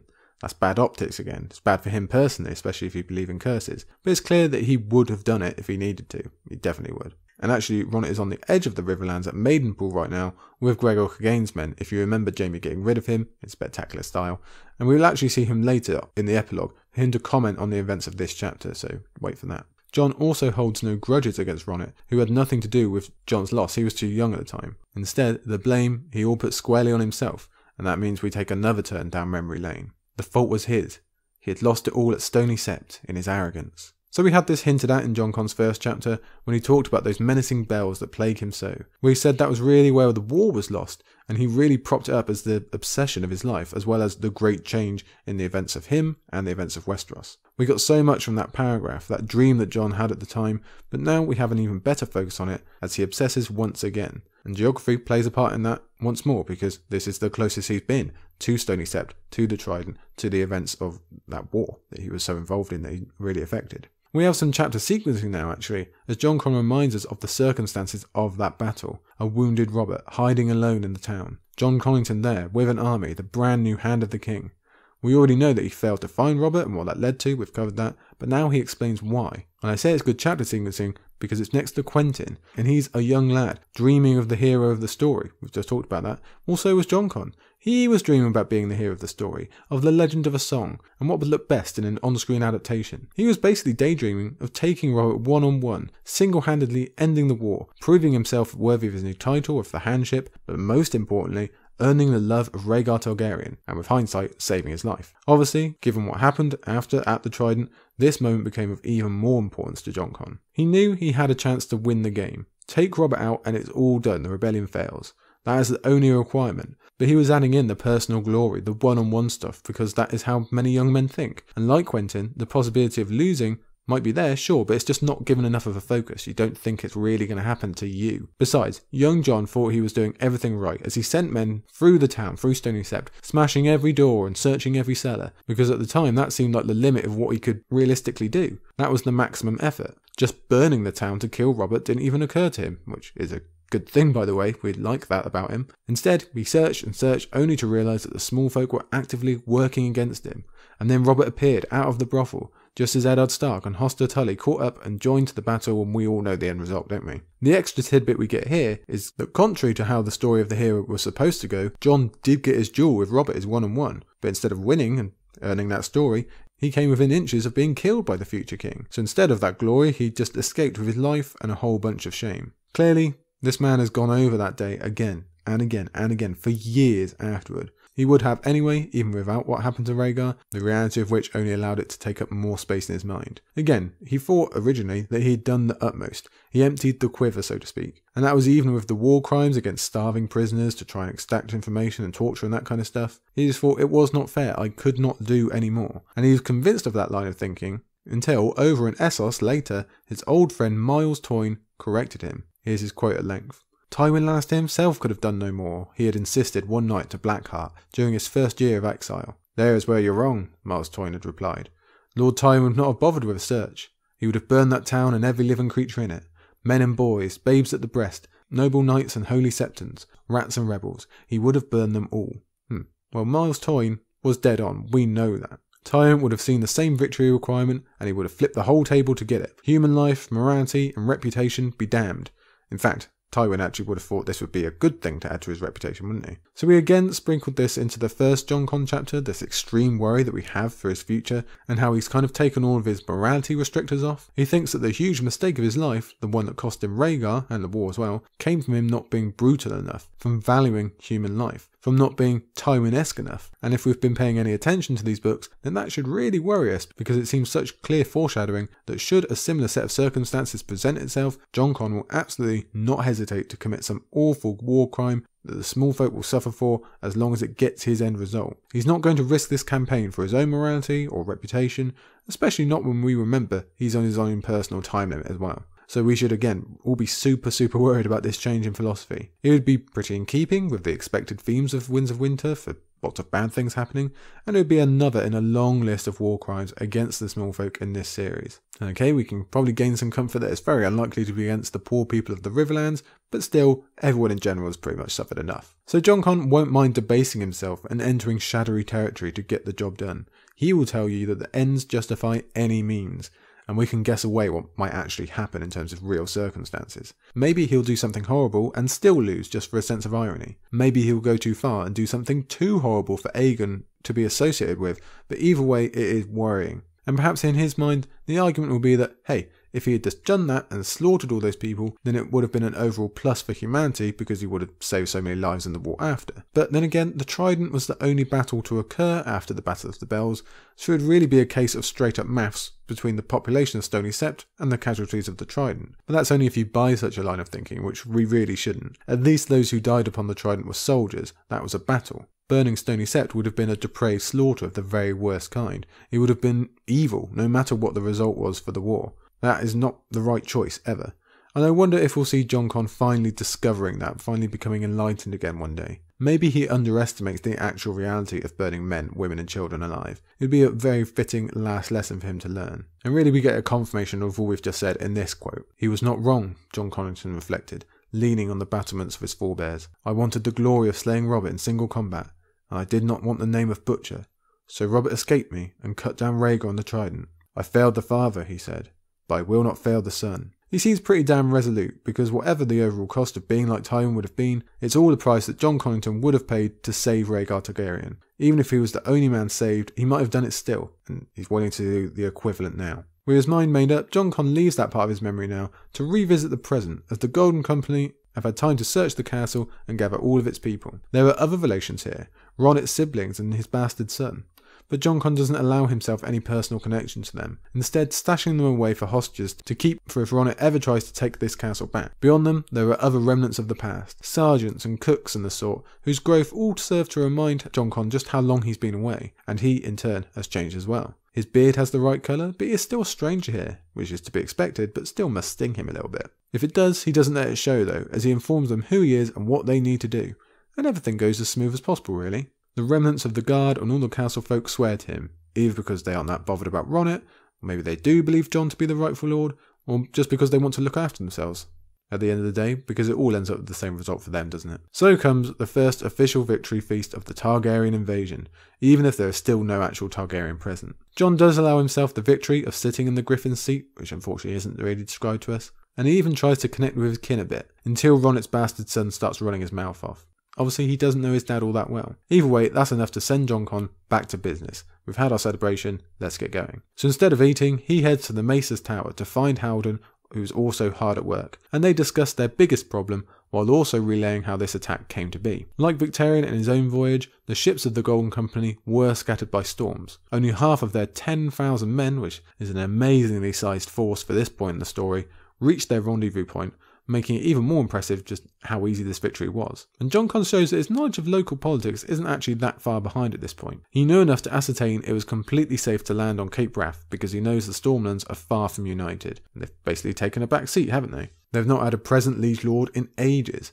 The one they officially do have has disappeared to the north with half of their strength, and most of them probably aren't that bothered about him anyway, especially when he's not breathing down their neck. And they probably feel the same about Tommen slash Cersei. Besides, no one has actually bothered them for ages, so the issue that allowed such an easy time at Griffin's Roost really extends out to the whole Stormlands. Jon Con also believes he has an advantage in terms of recruitment. There's friends in the Reach, we know that, but apparently there's some in the Stormlands as well. Some were tied to House Connington beforehand, some were Targ supporters, so when they get wind of this, they are sure to join his side and throw off their rubbish leadership of late. We can't say if it'll be to the level that Jon Con is thinking now, but he will be correct on some level, we're sure. Most importantly, Jon Connington relays how cool the Golden Company are and how quickly they were able to land and move. He reckons this was way smoother than using any domestic force, and that this was a key in allowing their attack to be so effective. These were the heirs of Bittersteel, and discipline was mother's milk to them. So, again, our respect for them is very, very high. We know they're really, really going to have an effect on Westeros because they've seen some bad leadership, some bad armies lately, We've seen plenty over in Essos, for example, with the sellswords. So we know Westeros at current is just not prepared for a force that is just this good at their own job. The scope widens now, as Jon and Haldon discuss that this is only part of several coordinated attacks. They are going to go all at once so no one has a chance to warn anyone else and all are equally caught off guard. Very clever. Before anyone can even react, they'll have a real toehold in the Stormlands. They'll have to be taken seriously, and Jon Con is hoping that'll start the offers of friendship coming in. Again, Like we said earlier, that's how the game works. Lords will look, is this person worth being afraid of? Should I be saving myself here? Is this a good horse to strap myself to? How far could they take me? That kind of thing. And it's even more impressive because we just keep lowering the numbers for this assault on Griffin's Roost. We're miles off the half of the force that has landed. We didn't need anywhere near that much because we learned that Tristan Rivers has been sent to Crow's Nest. That's the site of House Morrigan. Meanwhile, Laswell Peake Always an interest in those names. He's gone to Rainhouse of House Wylde. Plus, a force has been left to guard not only the landing site, but Prince Aegon. So there we go, that's where he is, we know now. That all sounds very promising, but Jon Con isn't going to make the mistake of overconfidence. He's going to be as careful as possible. They still have more to come, and like Victarion, they get to wait. Crucially, the horses and the elephants are yet to turn up, which is a shame because we'd really like to see those elephants in action. And Haldon also makes the good point that they are the really irreplaceable part of this invasion. You can find more horses, you cannot find more elephants, not here. But Jon Con isn't worried about that, not yet anyway.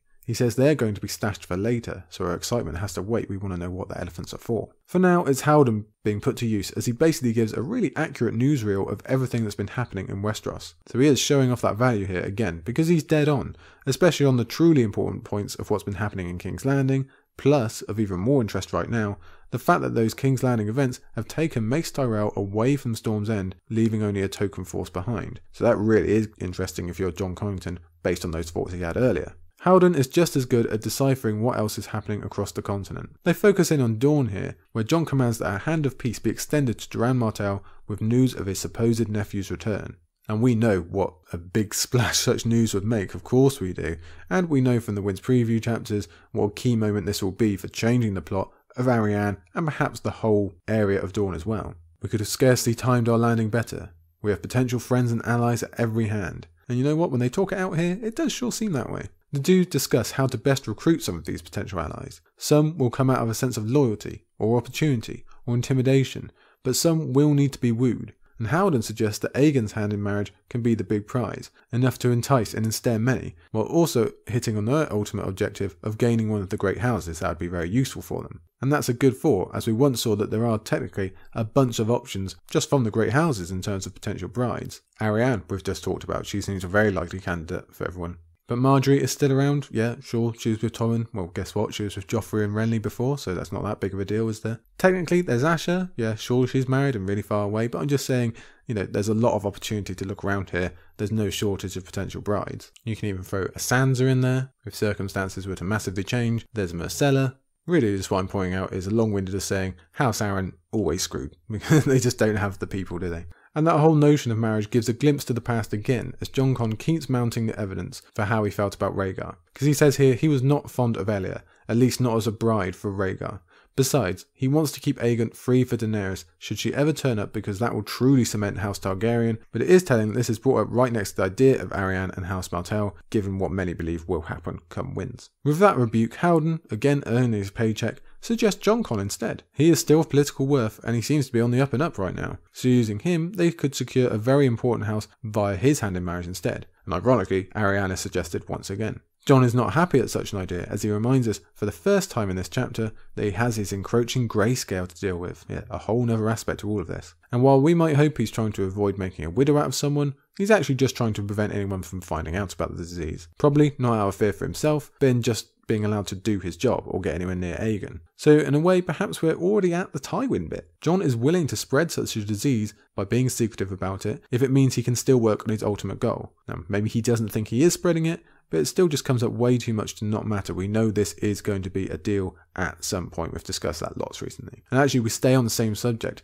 as Jon Con shows off the disease's progress the next morning. Four fingers are black on the nail now, with the middle one being black up to the knuckle. So it is progressing, this is no joke. And it actually frames the whole chapter a bit differently. For all its success, it's all just temporary for Jon Con. And he hits again on why he can't let it be known. He would either be outcast or people just abandon the cause because they think he's diseased and they don't know who else is diseased. And we're just reminded of Val's reaction when she met Shireen. Now we enter the final scene of the chapter when Jon Con calls a war council. And the first thing we learn is that more of their forces have turned up on Estermont. Greenstone, the castle on Estermont, has been taken, along with its memories of Jaime and Cersei being up to no good if you really want to cast your mind back. There's good reason to believe that the Golden Company are scattered up and down the coast, which is good for numbers, but some might also be stuck on the stepstones, which is not so good, especially when the elephants are still missing. Jon's clever tactics are shown again to impress us when the question of whether Greenstone got any ravens off comes up. He purposely hid all of their banners from their various attacks. They're going to keep the propaganda for later instead. For now, he wants maximum confusion,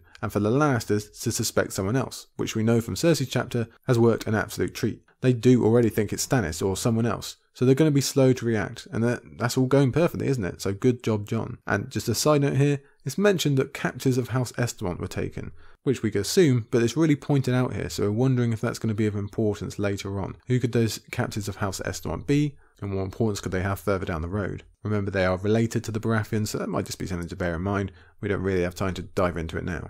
The same patience is also going to be applied to raising Aegon's Targaryen banner and actually declaring him king, declaring their actual intent. Instead, first, Jon will raise his own banner and pretend that this is just him alone with some random sellswords, trying to carve out a retirement plan and take back what was his. That will lessen the Lannister urgency even more, or will at least let their guard down, again buying them more time to consolidate strength and make allies both with the Dornish and the Reachmen, although Dorne appears to be the much higher goal. When Harry Strickland again casts doubt on earning Doran's interest, Jon Con shows off his knowledge once more. You can stir Doran Martell, it is possible, he just has to be convinced, absolutely convinced, that you are strong enough to not let him lose. Jon believes he has a way to do just that, and we are likely starting to guess what it is based on earlier info from the chapter. Before that, though, we have Harry being Harry, the same man we saw back in Essos soaking his toes, being overcautious, and basically not wanting to have to put any effort in. He advocates for sitting put again and waiting for more strength from more elephants and when they arrive, he'll probably still say it's best to wait. I really do not see this guy lasting long in Winds, to be honest. He's just so at odds with the plan, and Jon mentally condemns him for being unfit to lead such as the Golden Company. Besides, he puts his foot down and confirms what we, excitedly, already guessed. We do not cross half the world to wait. Our best chance is to strike hard and fast, before King's Landing knows who we are. I mean to take Storm's End. Boom! Brilliant! We were correct. And that is exciting. Not just because we're going to see another battle and we're going to probably see some likely continuation of their success, but we also just get Storm's End back. Because again, I'll remind you, it's been way too long. We've barely ever actually seen it, and it is one of the coolest castles in the book. If you've managed to read any of the Castles book, you'll know how much I like it. And actually, if you're a patron, you can go and listen to me going on about Storm's End because I included that chapter for you a few months ago. So finally, we're going to remedy that long, long break from seeing Storm's End. We're really going to get involved more than ever. Again, very, very exciting. Plus, again, it's just all the paradigm shifting stuff. The idea of taking Storm's End, that is going to cause huge ripples. And it's very, very clever for not letting the Lannisters react again, delaying them. They're going to have no idea what's coming. And in terms of garnering reaction from Doran and from others, this will work. If there's anything that can get some attention, it's taking Storm's End. Aegon will seem legit. There are some second guesses about doing this since it belongs to Stannis, showing that Jon is the only one with a true tactical mind here. Who owns it now is besides the point. Soon, they will own it, they will take it, and everyone will know. If Storm's End is so impregnable, how do you mean to take it? asked Mallow. By guile, replied Jon. And that is super intriguing. And while I'm not going to go into my theories and other people's theories about how Storm's End will be taken, by guile or by force, there's lots of them around. You can be sure to find them if you look. Or again, you can just check the Castles book if you really wish. But it's definitely exciting to think about. So Jon Con makes that declaration. Ten days for any stragglers, that's how long they'll wait and then they ride. And four days into those ten, Prince Aegon finally enters the chapter, with a hundred horsemen, some old chums like Lady Lemore, Rolly Duckfield, and also three elephants. Yes, confirmed, we have elephants on Westerosi soil. And you might remember way, way back when we first met these characters, we spoke of how Jon Con did not want Duck to become the first of Aegon's Kingsguard, just to offset Dany currently only having one Queensguard. But that is what's happened. Still, they have six spots left open, which Jon Con intends to use as further political purchasing power, even if Aegon is a bit more traditional about it. They might clash about that, we'll see later. The final scene we have is Jon Con and Aegon meeting privately, and we can see that what we've discussed before to be fair, that this is a changed relationship between them. The kingship, or the potential kingship, has already gone to Aegon's head since we last saw him. It's been a long, long journey on those boats, don't forget. And we're going to have to wait to see how truly bad this is. For now, Jon Con is seeing the father in the son, even before Aegon makes his own declaration that he will lead the assault on Storm's End. So that's major drama. That's another aspect to consider. It's a spanner in the works because, well, it was all going so well, wasn't it? This taking of Griffin's Roost and all the plans for the Storm's End, it seemed perfect. And maybe that's going to continue with Aegon at the helm, but maybe not. It's just an extra level of danger, isn't it? Danger to Aegon, or just a sign of Jon Con losing control, and good old arrogance and brattiness ruining everything. We don't want to build another Joffrey here, do we? We don't want power to corrupt. And that particular battle between Jon Con and Aegon for what's best and letting the kid do what he wants and letting him have some responsibility, that constant give and take, that might last long past the Battle of Storm's End. We could see that all the way through Winds with who knows what conclusion. Still, the whole idea, the whole promise of not just Storm's End, but this invasion of King's Landing, of everything else, is incredibly intriguing, and this chapter is superb at showing it. I said before, I really do love Jon Con chapters. I love this one with its castle talk and its battle plans, the thematics of memory and coming back to the places of old, and again, I'm still really interested in Jon Con as a character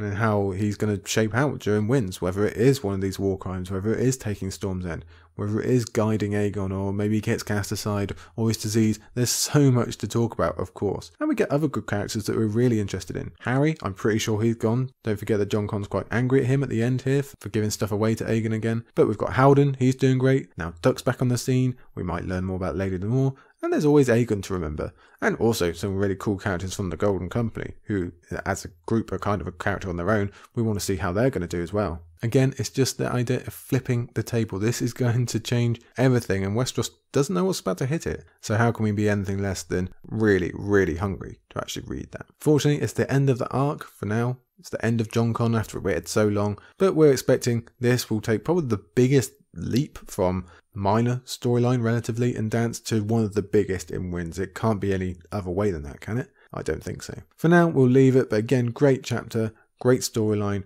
brilliantly framed in this attack of Griffin's Roost and everything that's going on. Love it. But that was this week. Uh, who knows how long this podcast is, but I'm sure it's too long for you. I'm going to let you away from having to listen to me for now. But before you go, as well as me saying thank you again for listening and downloading and all the comments and stuff, keep that up, keep the interaction up. Let's give a brief hint of what's coming next week because, to be honest, well, if this one felt like the end to you or the beginning of the end, next week blows it out of the water. We're truly at the end of the book next week. And in terms of chapters covering not just next week, but the weeks after as well, there's no more misses. Uh, I mean, we don't have any here, but everyone is huge. Huge in terms of plot, for character, for cliffhangers. We're really going to explore the bridging over to Winds of Winter and everything like that. I really can't do it justice, but you'll see what I mean as I tell you these chapters, and obviously when we actually get there next time. So we'll begin with back up in the north, back out in the snow, is the sacrifice, Asha free. Just a monumental ending for both a plotline and a POV, two POVs really, just to give you a little hint. Then from there, it will be the annoyingly named Victarion 1, which is actually Victarion 2. So we're going to see how much closer he's got to Meereen, what's going on with him and his weird old hand. Then, well, then it is The Ugly Little Girl slash Arya 2. Or, to put it another way, when Arya gets a new face. So much to talk about in that one, as you can imagine. And then somehow we might even top that with the final chapter of the day, Cersei 2, the Walk of Shame chapter, as if I need to say anything else about that to get across to you just how big these events are. So as you can see, four major, major chapters there, lots to talk about as them as a group, as a theme, and just for the ending of this book. It doesn't get any bigger than this. So again, I will say thank you for joining me this time. Look forward to seeing you again next week, and thank you, thank you, thank you. Keep it up. We will see you next time on the Isle of Faces.